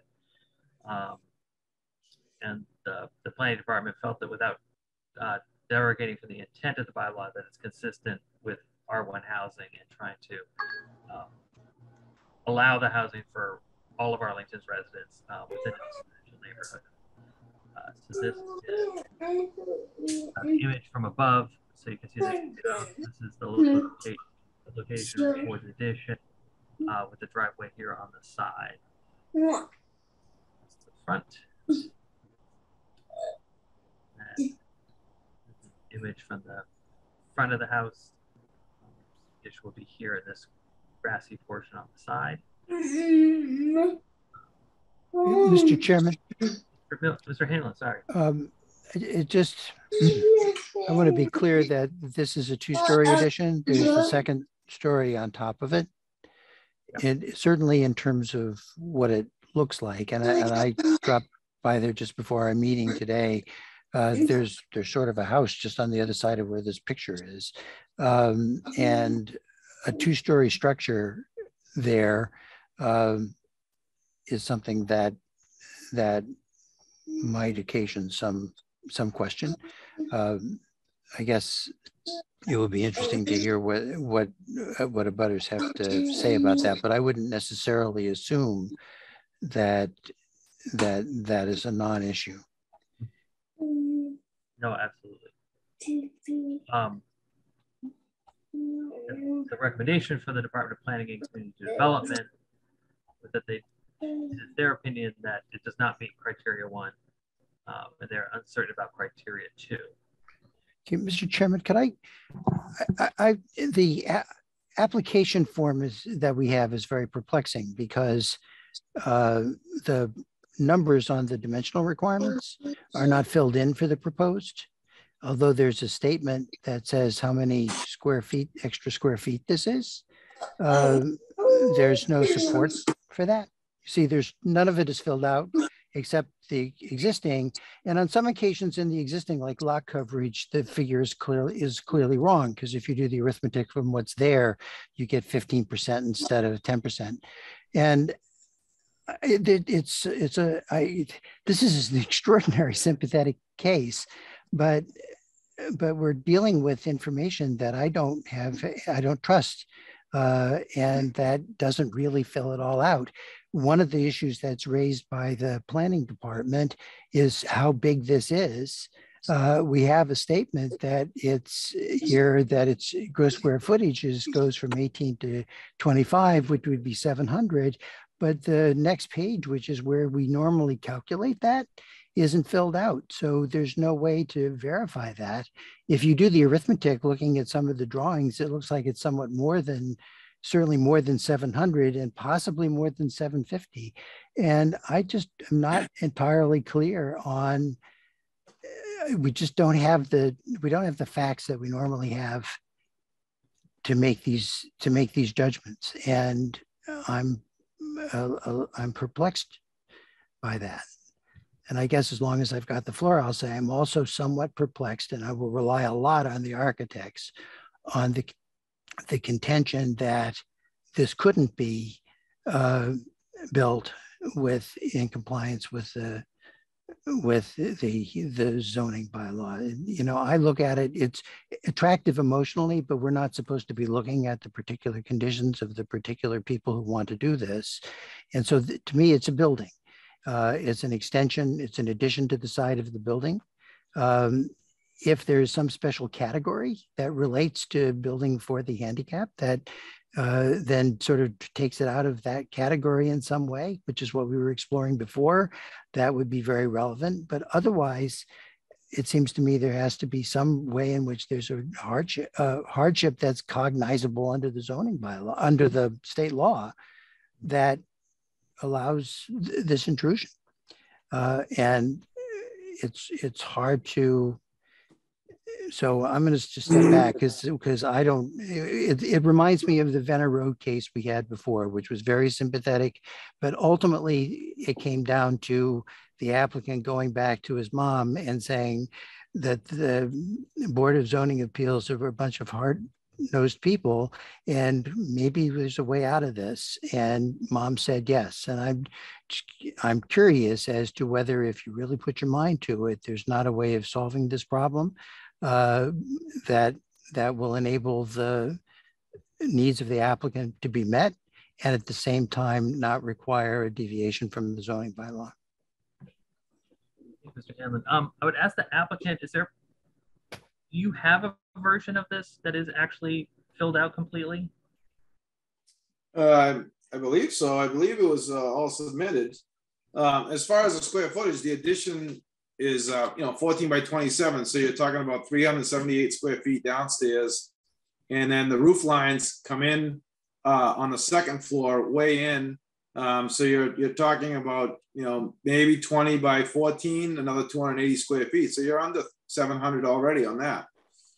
Um, again you know uh, by by right we have the ability to to, to build the front to the 14 right to the 10 we could step it back, kick it over, and then cantilever the second floor back out to the 14 and you know maintain that. But again, I think architecturally, that's not the correct uh, thing to do to this house. I mean, you know, it's not a historical house, but it, it does have some character. It's been here for a long time.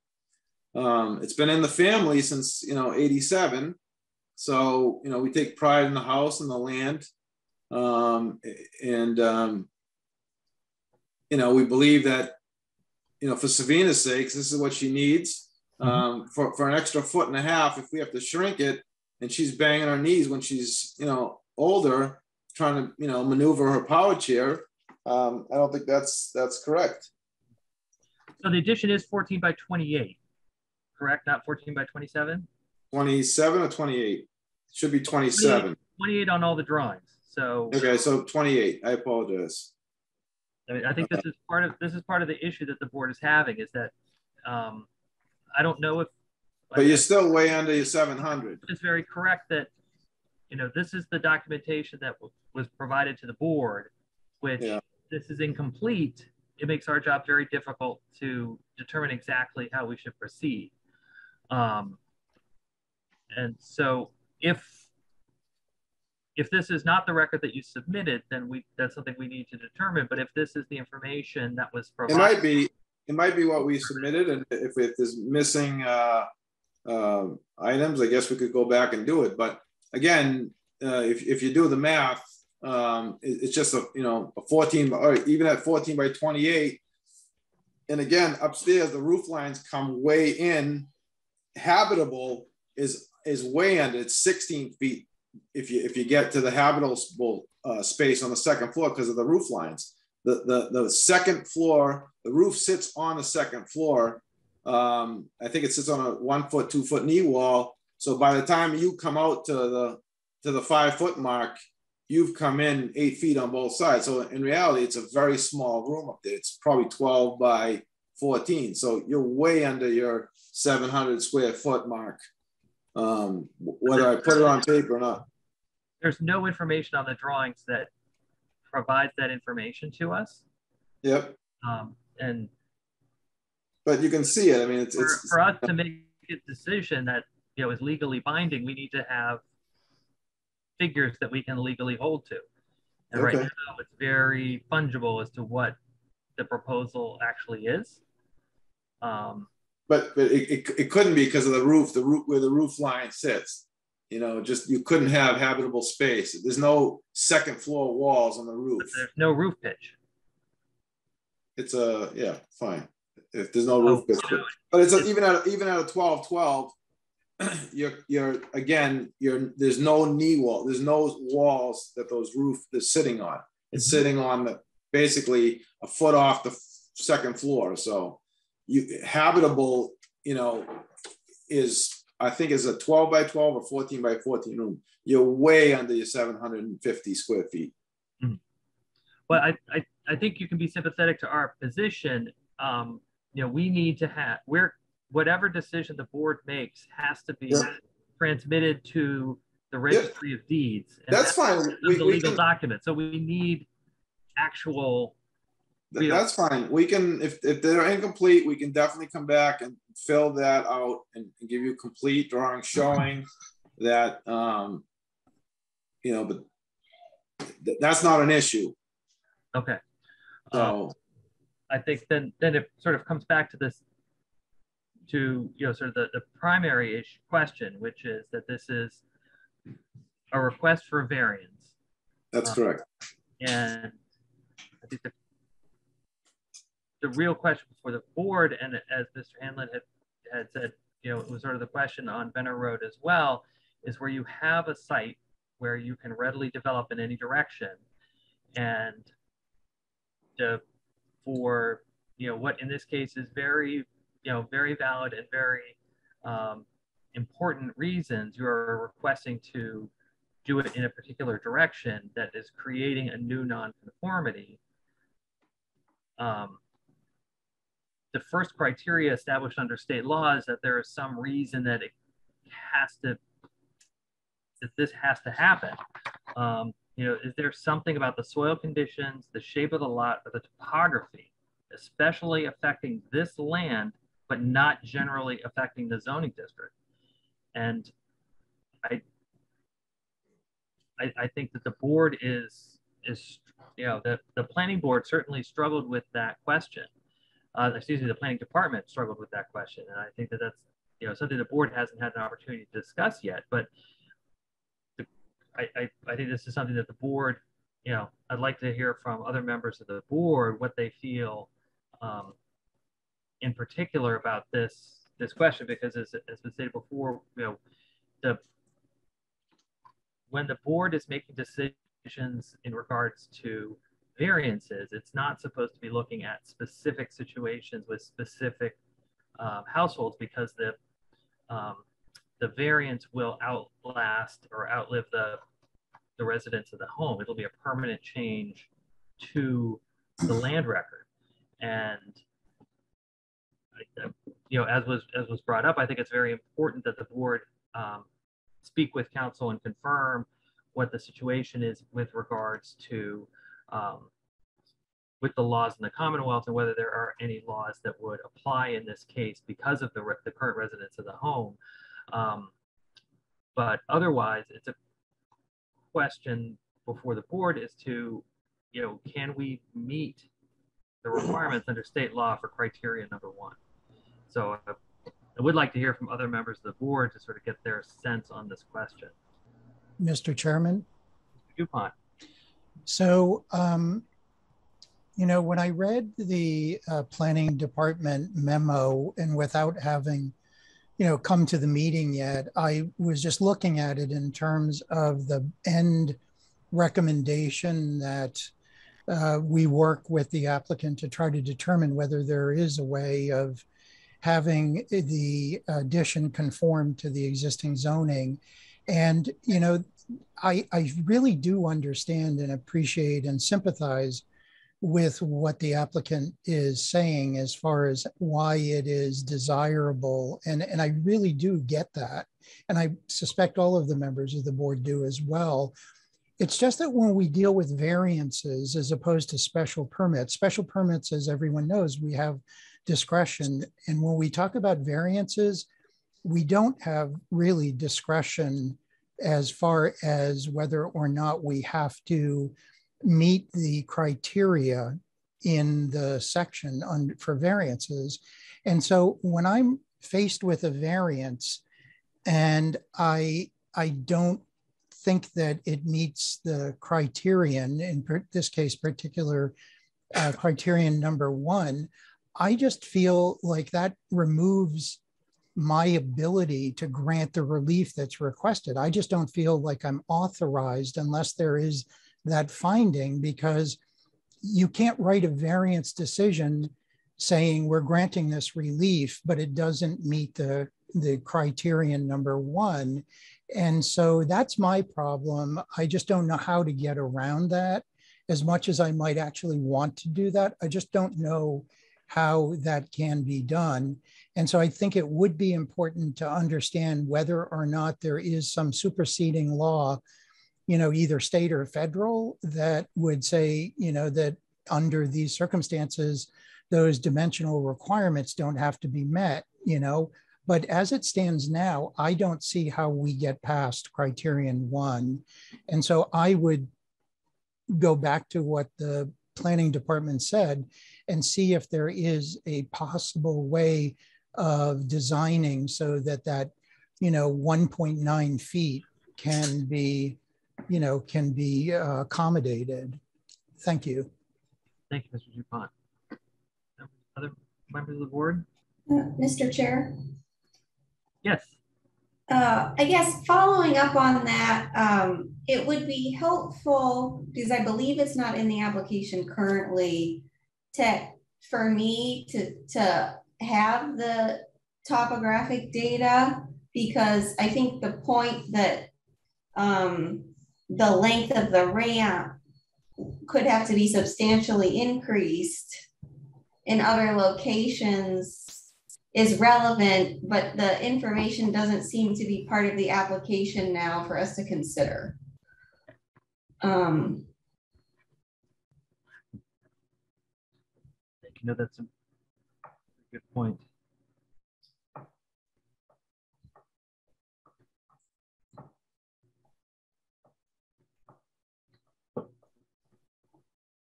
And the other, the uh, this is again just kind of along those lines. Um, I, am also sympathetic to the point that um, reconfiguring accessible spaces, per, particularly bathrooms, can be very challenging. Um, I'm not sure I see quite enough information on the plan to prove that it would be impossible to reconfigure it. It would be nice. For instance, I can't quite see what the size of the bedroom is. Um, so uh, I think that would also be helpful information. Approximately um, 15 by 14.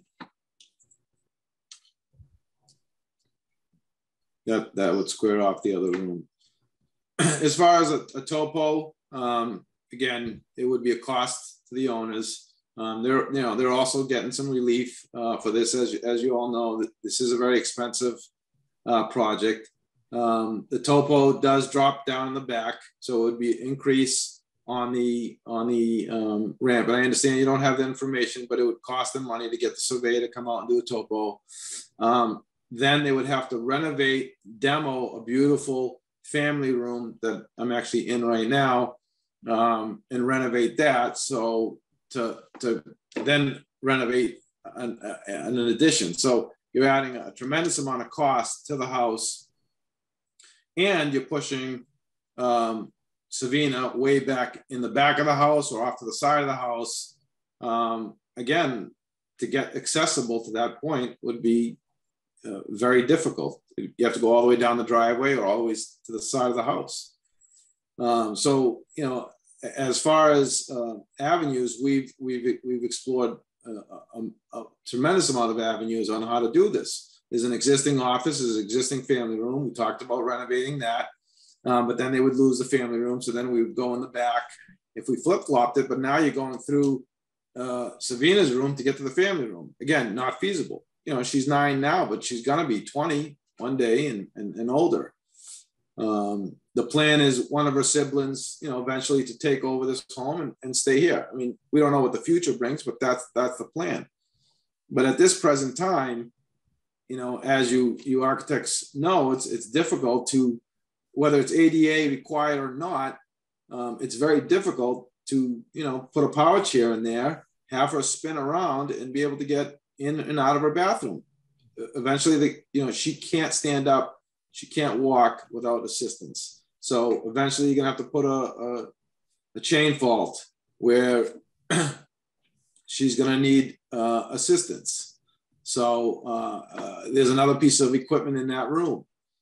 Um, so you know every every foot matters. Again, I, I think we have the the setback requirements um, to get to her room, but then we'd have to step it back and go up and go and go back, and then cantilever the top.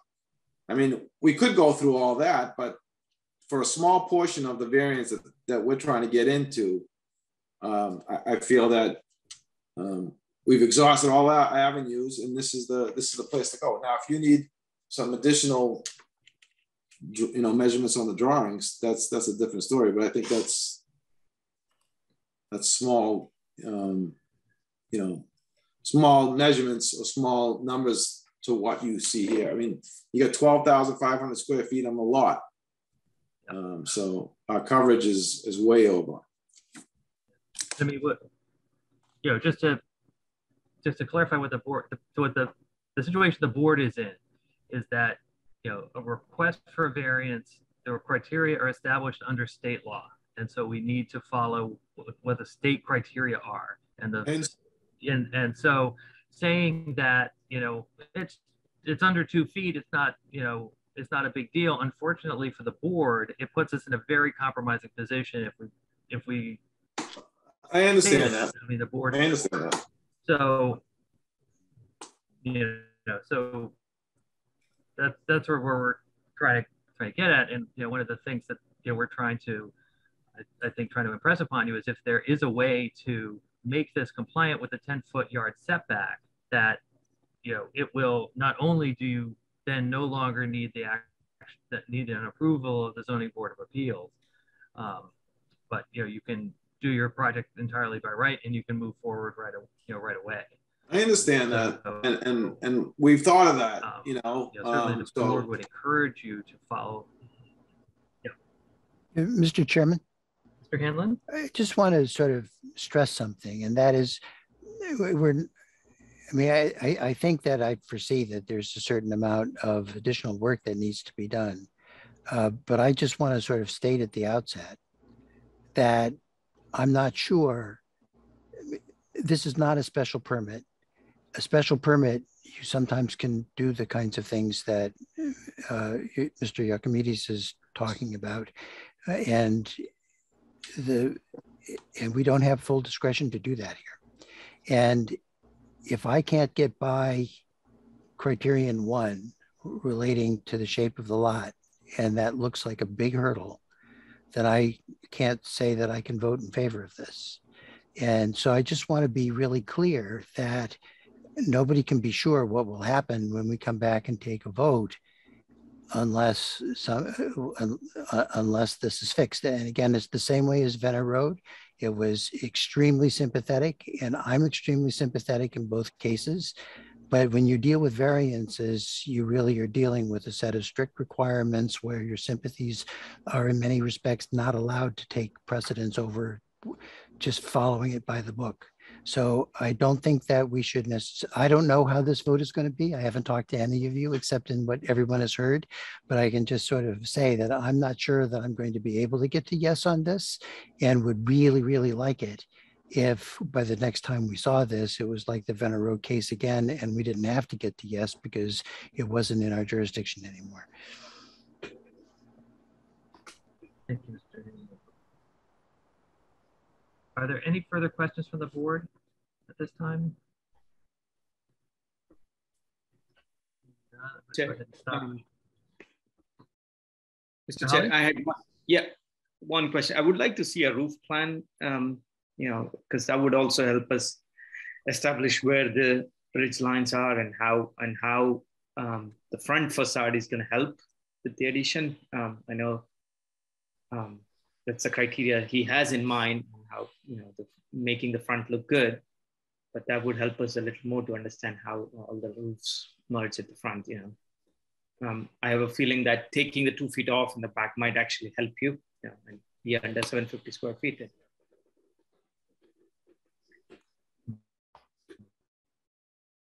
Taking the two feet off would help me? No, the back in the back, um, just to remain within the setback. I meant, you know, with all the roof lines coming in. But by right, if I jog the first floor, I can cantilever the second floor and bring the roof line right back out. That would still be within the setback. You'd still be constructing within the setback if you're cantilevering into the setback, Even on the second floor? even on the second floor. Okay. Or Eave lines are allowed to, I think eaves are allowed to extend.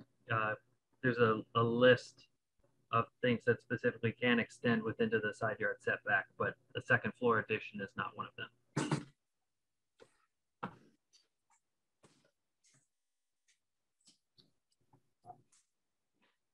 I would like to um, open the meeting for public comment at this time. Um,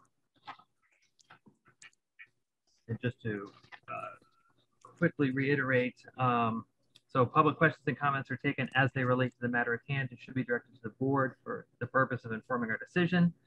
Um, if you wish to speak, uh, you can digitally raise your hand from the participant tab in the Zoom application, or if you're calling in by phone, you may dial star nine to indicate you'd like to speak. Um, and all questions should be addressed to the chair and the board. We will do our best to show uh, whatever documents you are requesting. Uh, so there are members of the public who wish to address the board, please go ahead and raise your hand at this point. Uh, Mr. Moore. Uh, yes, thank you, Mr. Chair. Uh, Steve Moore, Piedmont Street.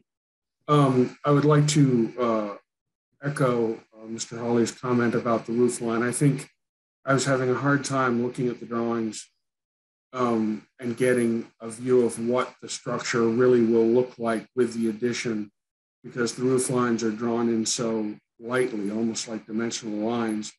Um, because I think when we're all done here, the um, the structure is going to be pretty blocky. You know, it's it's hard to tell. I I, I was having trouble with that, um, and I, I think I've heard the board say in a number of ways now some some compromise probably is needed here, um, and I I think you're you're offering that option to the applicant. From what I can tell, I I would be very surprised if it was not possible to do some what I would guess is a minor redesign to make this fit within the dimensional requirements by right, as, as one of the board members mentioned. I would be very surprised.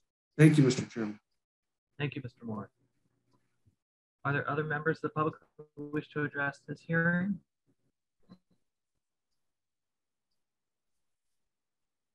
That's one last time. Any other members of the public who wish to address this hearing? Hearing none, I'll go ahead and close the public comment for this meeting. Uh, excuse me, for this hearing. Um, so with that, returning to the board, um, I mean, certainly the board is, uh, has, has asked the applicant if there's a way that they can try to find a, a, a compromise position that would allow them to avoid the need for variance. Um, several members of the board have spoken in regard to their concern about uh, whether the application meets the criteria for variance and whether the board would be able to grant the relief that the applicant is seeking um, based on. There's also been um, a couple questions raised about whether there there's other legisl uh, whether excuse me other legislation in place that may impact uh, the decision the board may make, and that is certainly something I would like to explore with counsel. Um, just to see how that would apply in this in this situation. Um, if excuse me, if such a, a legis- if such legislation exists, um, and there has been some uh, some requests to uh, have asked the applicant to provide some additional dimensions um, and uh, the completed application forms for dimensions um, and area.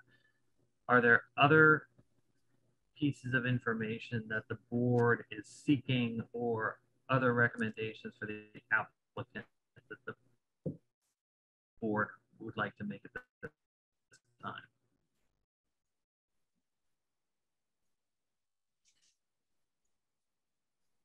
Being none, so that just a takeaways here. So for the chair would be to discuss with counsel.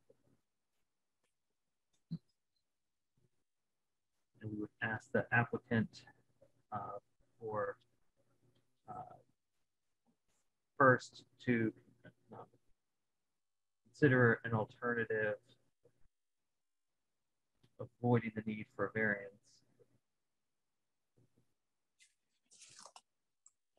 And B, um, if not, if the, or I guess in either case, um, to provide more complete, more complete dimensions. Mr. Chairman? Mr. Hanlon? Uh, just, I think that this might be included in more complete dimensions, but just to make clear, uh, Ms. Hoffman asked for more information about the ramp and Mr. Holy's more information regarding the roof structures, and those should be included in the task list as well. Thank you.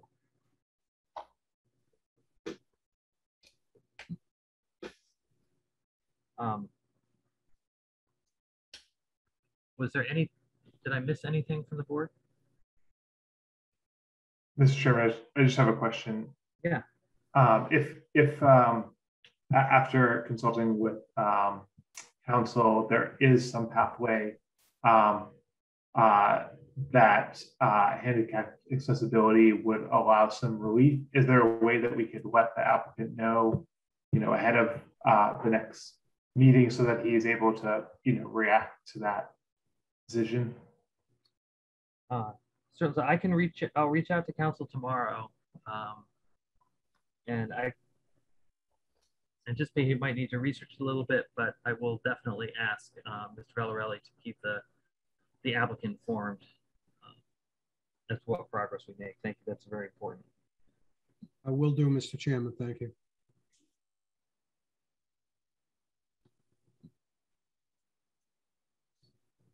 Um,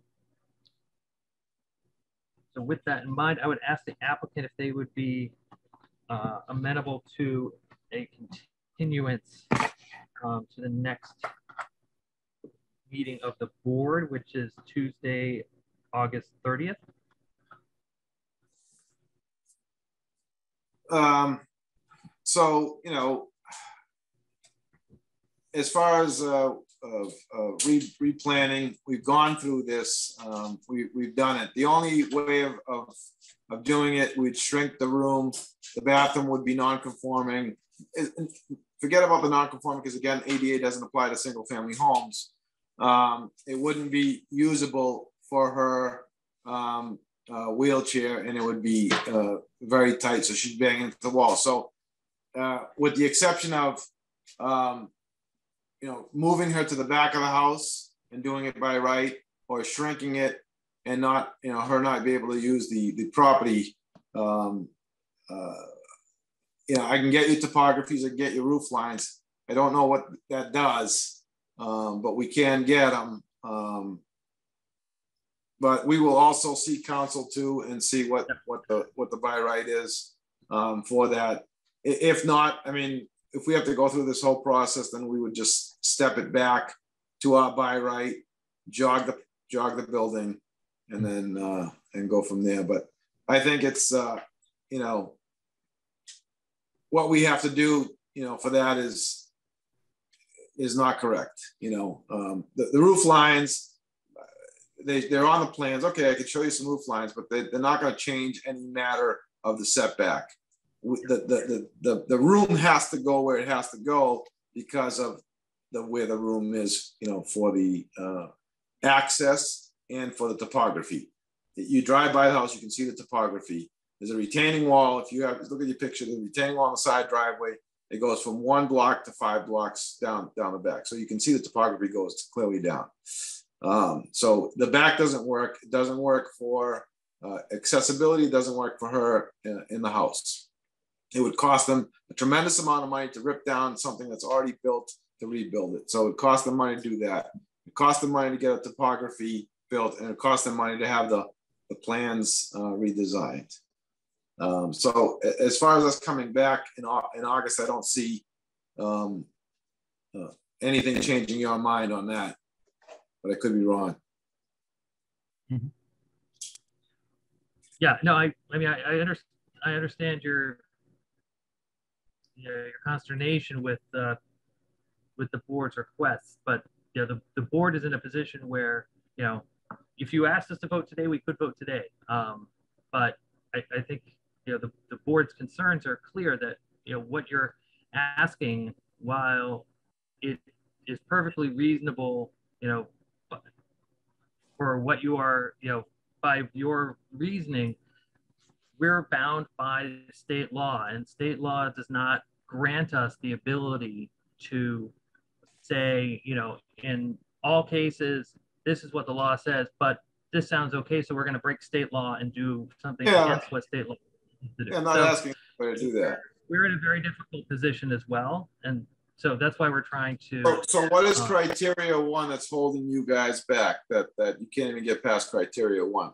So essentially, criteria one is what are the circumstances relating to the soil conditions, to the shape of the lot, or to the topography, especially affecting this land or structures, but not generally affecting the, the zoning district in general. Okay, but it's, So it's, you have a lot that you can build and you are built, you're requesting to build for extremely specific and ex- extremely understandable reasons. To right, build in the one place it puts it into, into conflict with what zoning is requested, is what zoning it states for that zoning district.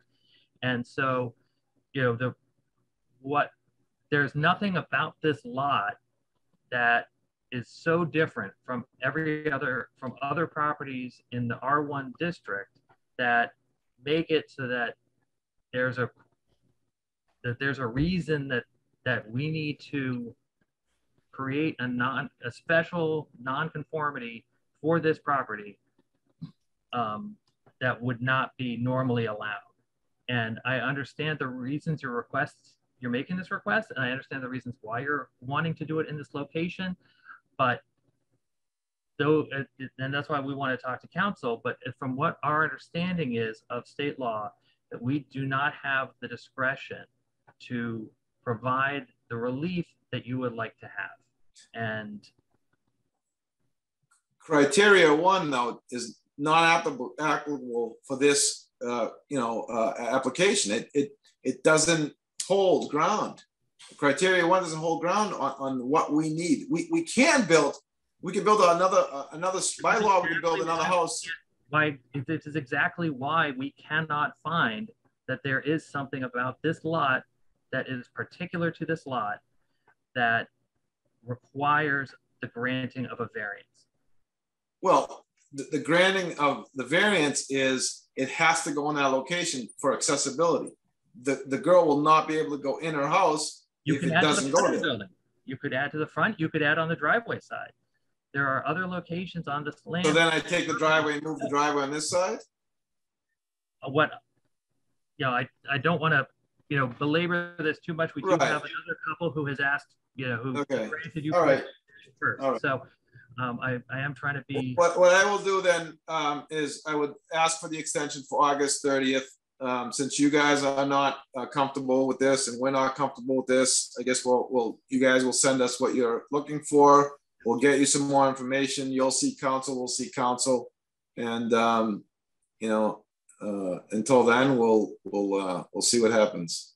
okay.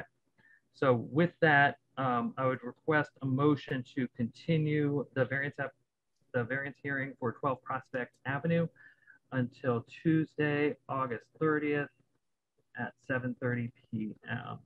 So moved. Thank you, Mr. Hanlon. Do I have a second? Second, Thank you, Mr. Dupont. Vote of the board, Mr. Dupont, aye. Mr. Hanlon, Aye. Mills, Aye. Mr. Deli, Aye. Hoffman, Aye. Holly. Aye. Chair votes aye. We are continued on 12 Prospect Avenue until Tuesday, August 30th. Thank you all very much.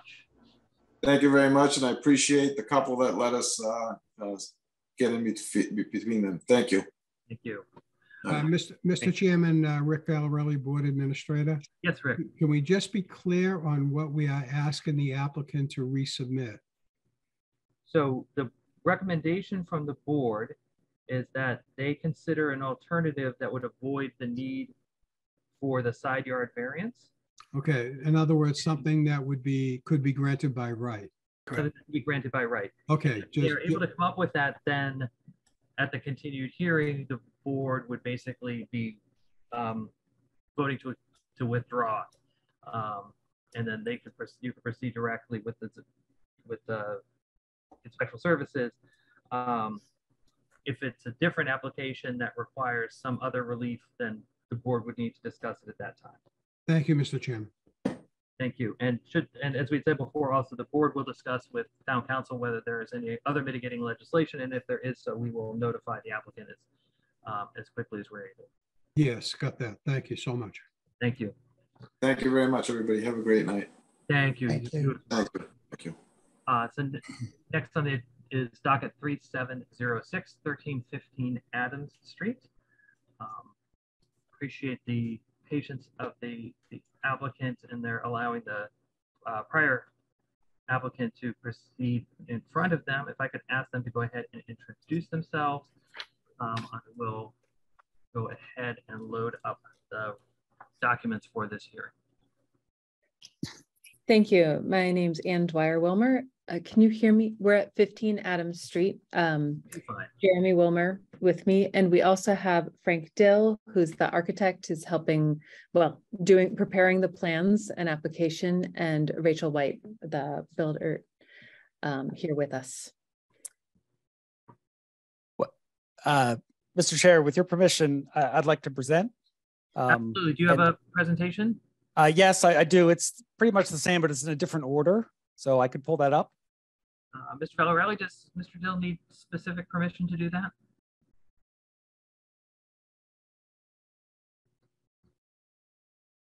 Uh. Uh, Let me see if I can do this.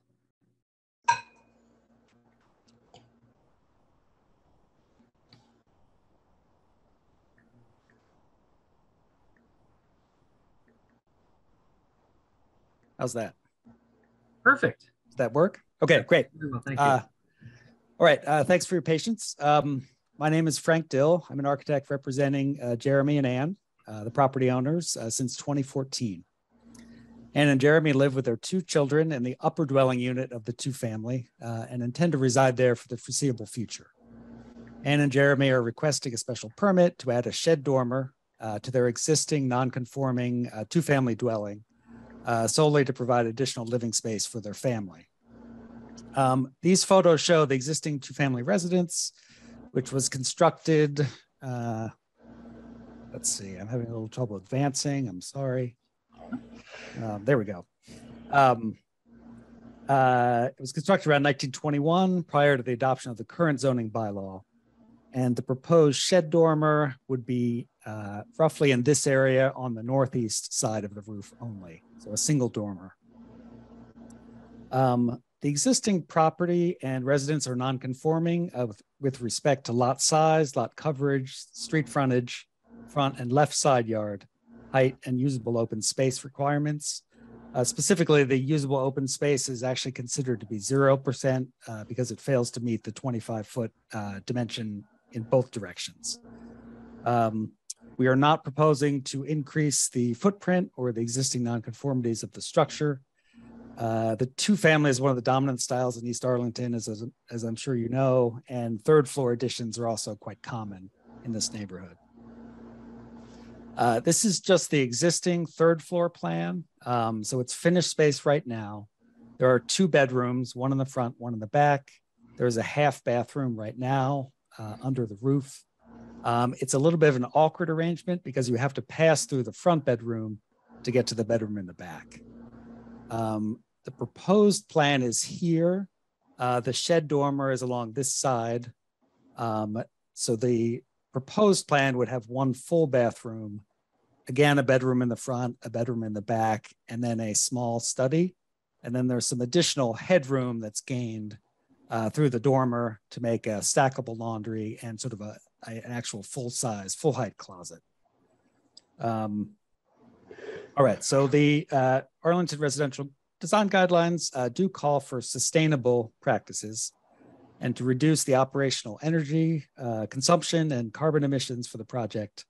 We're proposing several things, uh, triple glazed windows, insulation and air sealing improvements, electrification and reduction of fossil fuel use, and reinforcement of the roof for uh, uh, future PV panels. Um, so this is the existing east side of the house. Uh, this is uh, as it exists right now. Um, so it's got a hip roof with uh, two gabled, uh, two hip dormers on the front and back. And we are proposing a shed dormer right there. Um, so we're designing this, we're looking at the uh, residential design guidelines in the design of the dormer, uh, specifically the length. Uh, the dormer, the proposed dormer is 20 feet long, um, which is less than half the width of the main roof, which is about 50 feet uh, gutter to gutter. Um, we're maintaining that, uh, that existing hip roof ridge. We're not proposing to change that. And we're maintaining the very broad eave line that goes all the way across. It's about a 20 inch deep eave, so pretty substantial. Um, we are trying to respond to the second floor windows with the windows on the third floor. We're sort of centering this pair over the pairs on the floors below. Um, this is the street elevation as built, and then this is the proposed uh, elevation for the front. We're also trying to keep the pitch uh, relatively steep. It's a three and a half in 12, uh, which also helps to reduce the volume of the dormer, especially from the street side. Um, and that's, uh, I'd like to keep this brief. Um, we welcome your questions and comments and uh, thank you for your consideration. And shall I stop sharing now? Sure. Thank you very much for the presentation. Um, application. Um, as was stated, this is brought before the board primarily because um, this property, as many, many, many, many properties in Arlington, has zero usable open space.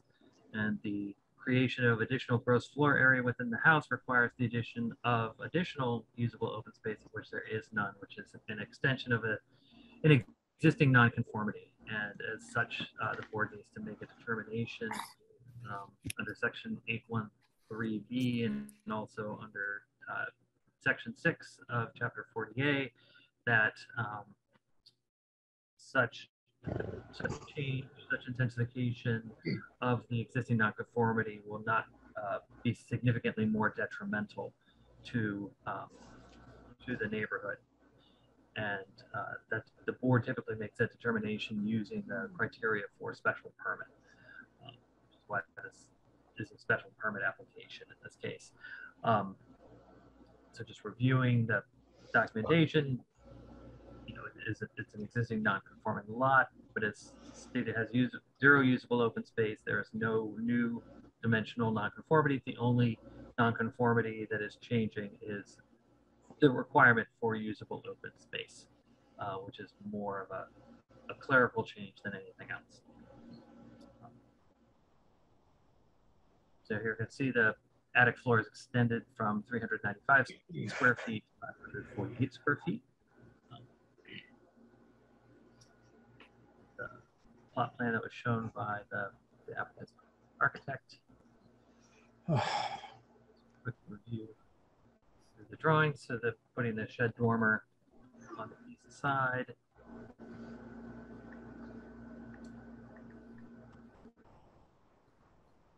Go for the existings and then section through and then proposed site elevation. Proposed elevation. Are there questions or comments from the board? Mr. Chairman. Mr. Hanlon. Uh, at, at, the outset, I'd like to thank Mr. Dill for what I thought was a particularly good presentation.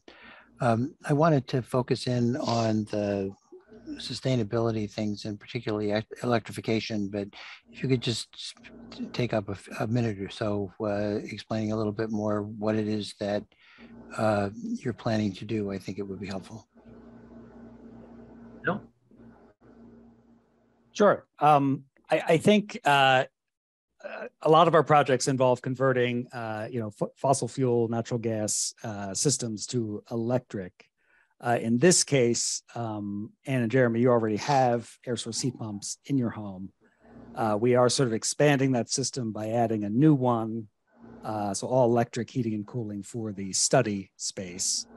Um, part of the project right now, I believe, is replacing the first floor water heater and switching from natural gas to electric resistance heat. Um, you're also removing uh, your uh, radiators, uh, which I, I, believe you use as a backup system now, but I'm not 100% sure about that. Um, oh, uh, yes, correct. Okay, great. Um, so uh, they've already made some moves for elect electrification and eliminating natural gas. Uh, you guys won't be 100% gas free as a result of this, but it's uh, for this stage, it's mainly the uh, relying on your air source heat pumps for electrically heating for your unit year round and extending that system and replacing the first floor water heater and switching from gas to electric for that. That's a separate dwelling unit though. Right. And Thank you. Welcome. Mr. Chairman, Mr. Mills. while we're commenting on the uh, electrification, have they considered a heat pump water heater? Much more efficient than resistance. It, it is a conversation we were having. We're actually planning to talk with uh, Frank and Rachel about that tomorrow morning. Plus, it's a full-time dehumidifier. Um, Thank you, Mr. Mills. They get a great rebate on them these days. Okay, Thank you. Thank you. Good luck. Any further questions? Um, yeah, I just got quickly, I wanted to just go past the, um, this is the memorandum from the planning department. Um, they quickly run through the criteria for special permit. Um, is allowable under special permit. Uh, we're not changing any aspect of public convenience or welfare or traffic congestion. There Won't be any burden on the municipal systems. There are no additional special regulations.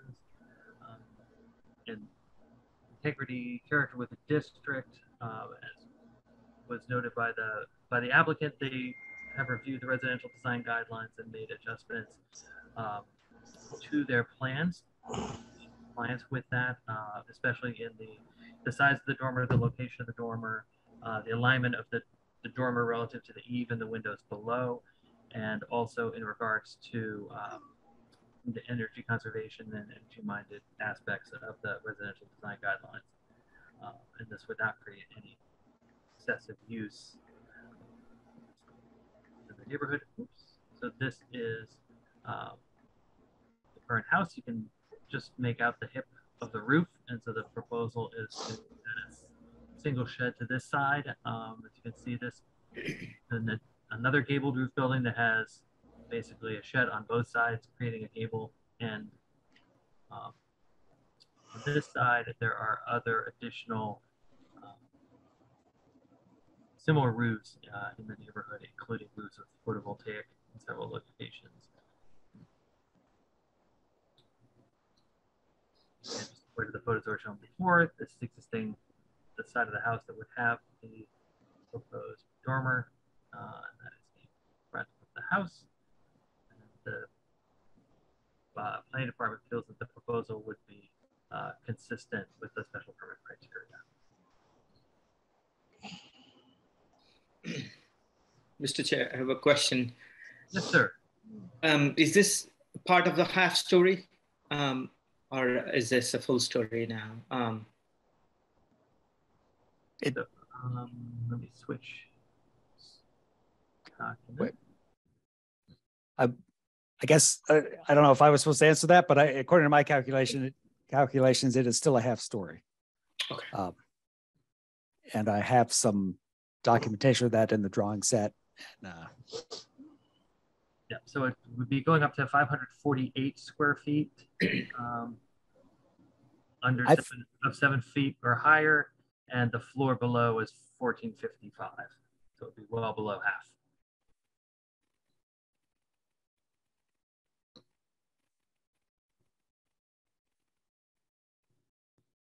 Any further questions from the board? That I will go ahead and open um, this hearing for public comment. Again, public comment is taken as it relates to the matter before us and to assist the board in its determinations. Um, if you would like to speak and you are on Zoom, you may raise your hand using the raise hand feature in the participants tab. If you are calling in, you may dial star nine. Uh, with that, uh, we have uh, one request to speak from Mr. Moore. Oh, Mr. Moore, you're on mute. Thank you. Sorry, usually I'm better that way. Uh, thank you. Thank you, Mr. Steve, uh, Steve Moore, Piedmont Street. Um, I, I, I, want to applaud definitely the folks' uh, approach to um, using the uh, how the guidelines for design. I, I, I want to encourage that wherever I hear about it. And the more and more that gets used, I think the better and better things are. So I appreciate uh, the fact that those uh, the folks went ahead and did that. Um, let me ask a question though: Is this a condominium or is this a two-family home that's owned by one of the people living? We own the the full structure. It's currently my parents res residing. Ah, ah, okay. Mm -hmm. okay. Um, uh, thank you. That that obviates my question. Thank you, Mr. Chair. Thank you, Mr. Moore.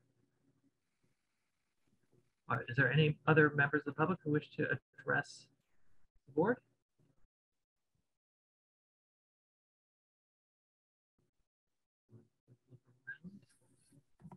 Once, going twice.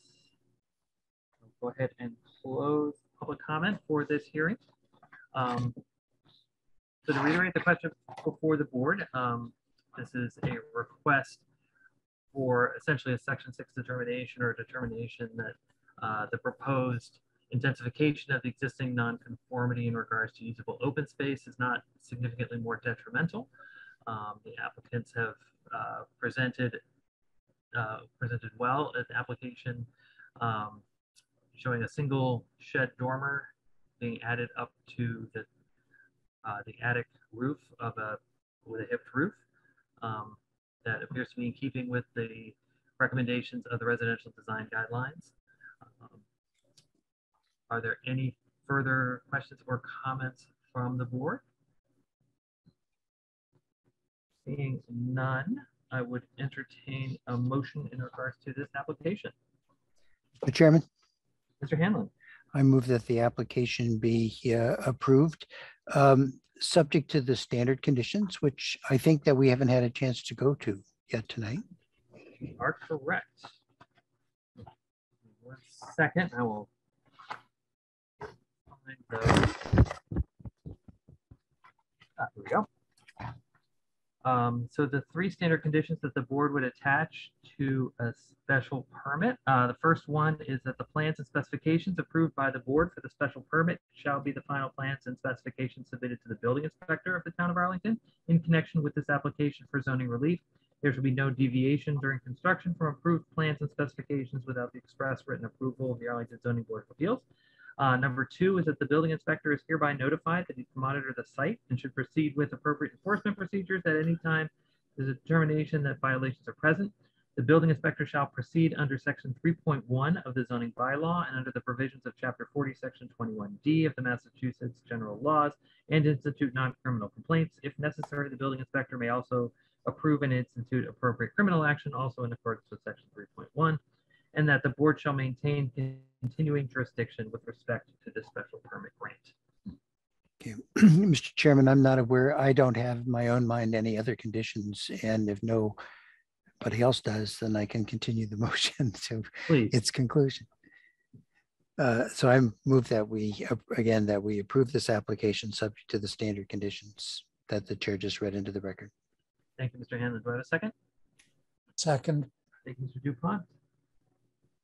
So the vote before the board is a vote to approve the special permit for 1315 Adam Street with the three standard conditions. Uh, motion by Mr. Hanlon, seconded by Mr. Dupont. Is there any question as to what the vote entails? Seeing none, roll call vote of the board. Mr. Dupont, Aye. Mr. Hanlon, Aye. Mills, Aye. Mr. Riccadelli, Aye. chair votes aye. The special permit for thirteen fifteen Adams Street is approved with three standard conditions. Thank you very much. Congratulations. Thank you. Thank you. You know, I think we mel- mellow a little bit as the evening goes on. Oh, that was just an easy one, Pat.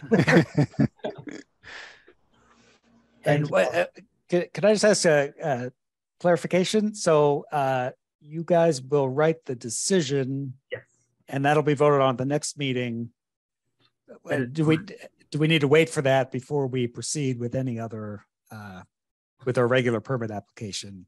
Mr. Valarelli? I think Mr. Valarelli stepped out. Oh, Mr. Valarelli stepped out. Um, if you wouldn't mind getting in touch with Mr. Valarelli in the morning, he can straighten that out. Okay, And I spoke to him today a little bit, so we can talk. Oh, perfect. perfect. Thank you all very much. Um, so for the board, um, so the next meeting of the board will be Tuesday, August thirtieth at seven thirty PM. Uh, we have now four new cases and two continuances, so I apologize that the thirtieth will be a bit of a night. Um, there are new cases for thirty-three Barnum Street, forty-nine Valentine Road, sixty Highland Avenue, and one oh one Robbins Road. And then we will also have the continuance for twenty-four Grandview Road and the continuance for 12 Prospect Avenue. That will all be on Tuesday, August 30th, um, as well as vote uh, on the final uh, the final opinion for uh, 1315 Adams Street. We voted on that at that hearing as well, and possibly uh, minutes. Is there any questions from the board? Seeing none, I would like to thank you all for your participation in tonight's meeting of the Arlington Zoning Board of Appeals. I appreciate everyone's patience throughout the meeting and especially like to thank Rick Valarelli, Vincent Lee, Kelly Linema, and Marissa Lau for their assistance in preparing for and hosting this online meeting. Please note the purpose of the board's recording the meeting is to ensure the creation of an accurate record of its proceedings. It is our understanding the reporting made by ACMI will be available on demand at acmi.tv within the coming days. If anyone has comments or recommendations, please send them via email to zba at town.arlington.ma.us. That email address is also listed on the Zoning Board of Appeals website.